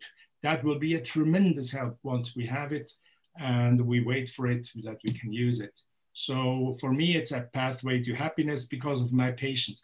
I don't become rich. Whatever I earn in money, I spend in travels for, for conferences. So I live in a small house. Don't worry, I'm not a rich man. This is a good sentence. Whenever somebody is criticizing you or, or uh, being uh, obnoxious, think that. It doesn't seem to be of intelligence. You have to be tolerant to other ideas. And if somebody doesn't like the idea of metal in the nose, fine, be it. But it's unfortunate for the patient you don't get it because we also use it in thin skin patients like this Turkish lady, uh, the implant. As I said before, please come anytime we do surgery. Everybody is welcome. Uh, I love to have you. At, I, I do show you everything I know. I think we as experienced surgeons should teach the younger generation all we know. We should not keep back with knowledge. When I was a young surgeon, my bosses didn't show me what they could because they wanted to keep the secrets to themselves. I'm just the opposite. I learned that when I was in America. I want everything that I know and learned over time to pass on. And I'm absolutely self critical. With every of one of my surgery, I want to learn something more and I want to be better the next day. So it's a never ending learning curve for everything. And with that, I do end my talk. Thank you. Thanks a lot.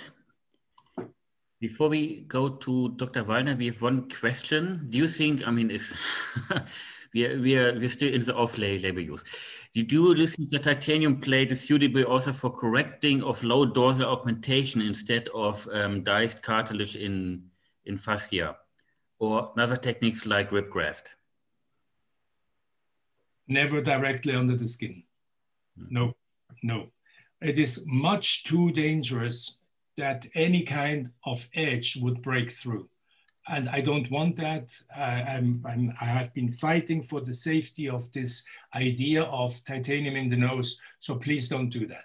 Uh, I use free dice cartilage, I use dice cartilage and fascia, I use rib grafts as a whole piece or partial.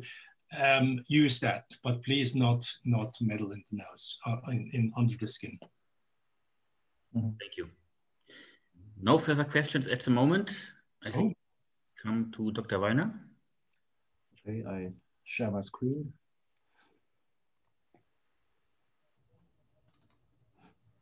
We still have 119 participants. I'm happy. Thank you, participants, for being here today and for being open for this idea. Thank you. I congratulate you. Yeah, I also um, thank everybody for the patience. And um, I just want to, to sum up a little bit. We have uh, taken a grand tour, I would say, through the nasal valve today, showing all uh, kinds of different aspects. And the role that the breathe implant can play by widening the isthmus, um, the internal valve. And uh, so I would say my take, take home messages are those. Um, if you respect the correct indication, it's a straightforward implantation. If you have some um, rhinoplasty surgical experience, uh, also in my view, it's reliable and long-term stable. Uh, it has an excellent biocompatibility and uh, you are independent of donor graft availability. Not always you have a septum available, for example, to make nice um, implants. You have no donor site morbidity and also in my experience, overall a high patient satisfaction. So I agree with uh, Professor Wengen that this method deserves more attention and um, that everybody who's active on this field should add it to his toolbox. That's my five cent. Fully agree. Thank you. And we should say um, Dr. Wallner and I, we met virtually for the first time here. We didn't even meet before, uh, and so we are completely unbiased. Would you agree to that? Yes, yeah. Thank you. Thanks a lot. I think um, we are close to end. Um, we have no further questions. And um, we would like to thank to all participants and especially to you, Professor Weiner and Professor Aweng for the excellent presentations. If anybody has any questions, please feel free to contact us. And um, just one last question, which is dropping in again. We've answered it before. Yes, we try to make a recording available and everybody who participated um, will um, get an email from us with a link. And and we also tried to put it on YouTube, at least part of it, so you can look it up there as well. Yes. One last remark from the audience, please send the coffee receipt. So that's a good statement um, for the end. Again, thanks a lot. And um, we will stay in touch and hopefully we can, we can um, make the next session soon. And um, thanks a lot to everybody for the time. Thank you. Thank you, everybody. Bye. Good luck. Thank you. Bye-bye. Bye.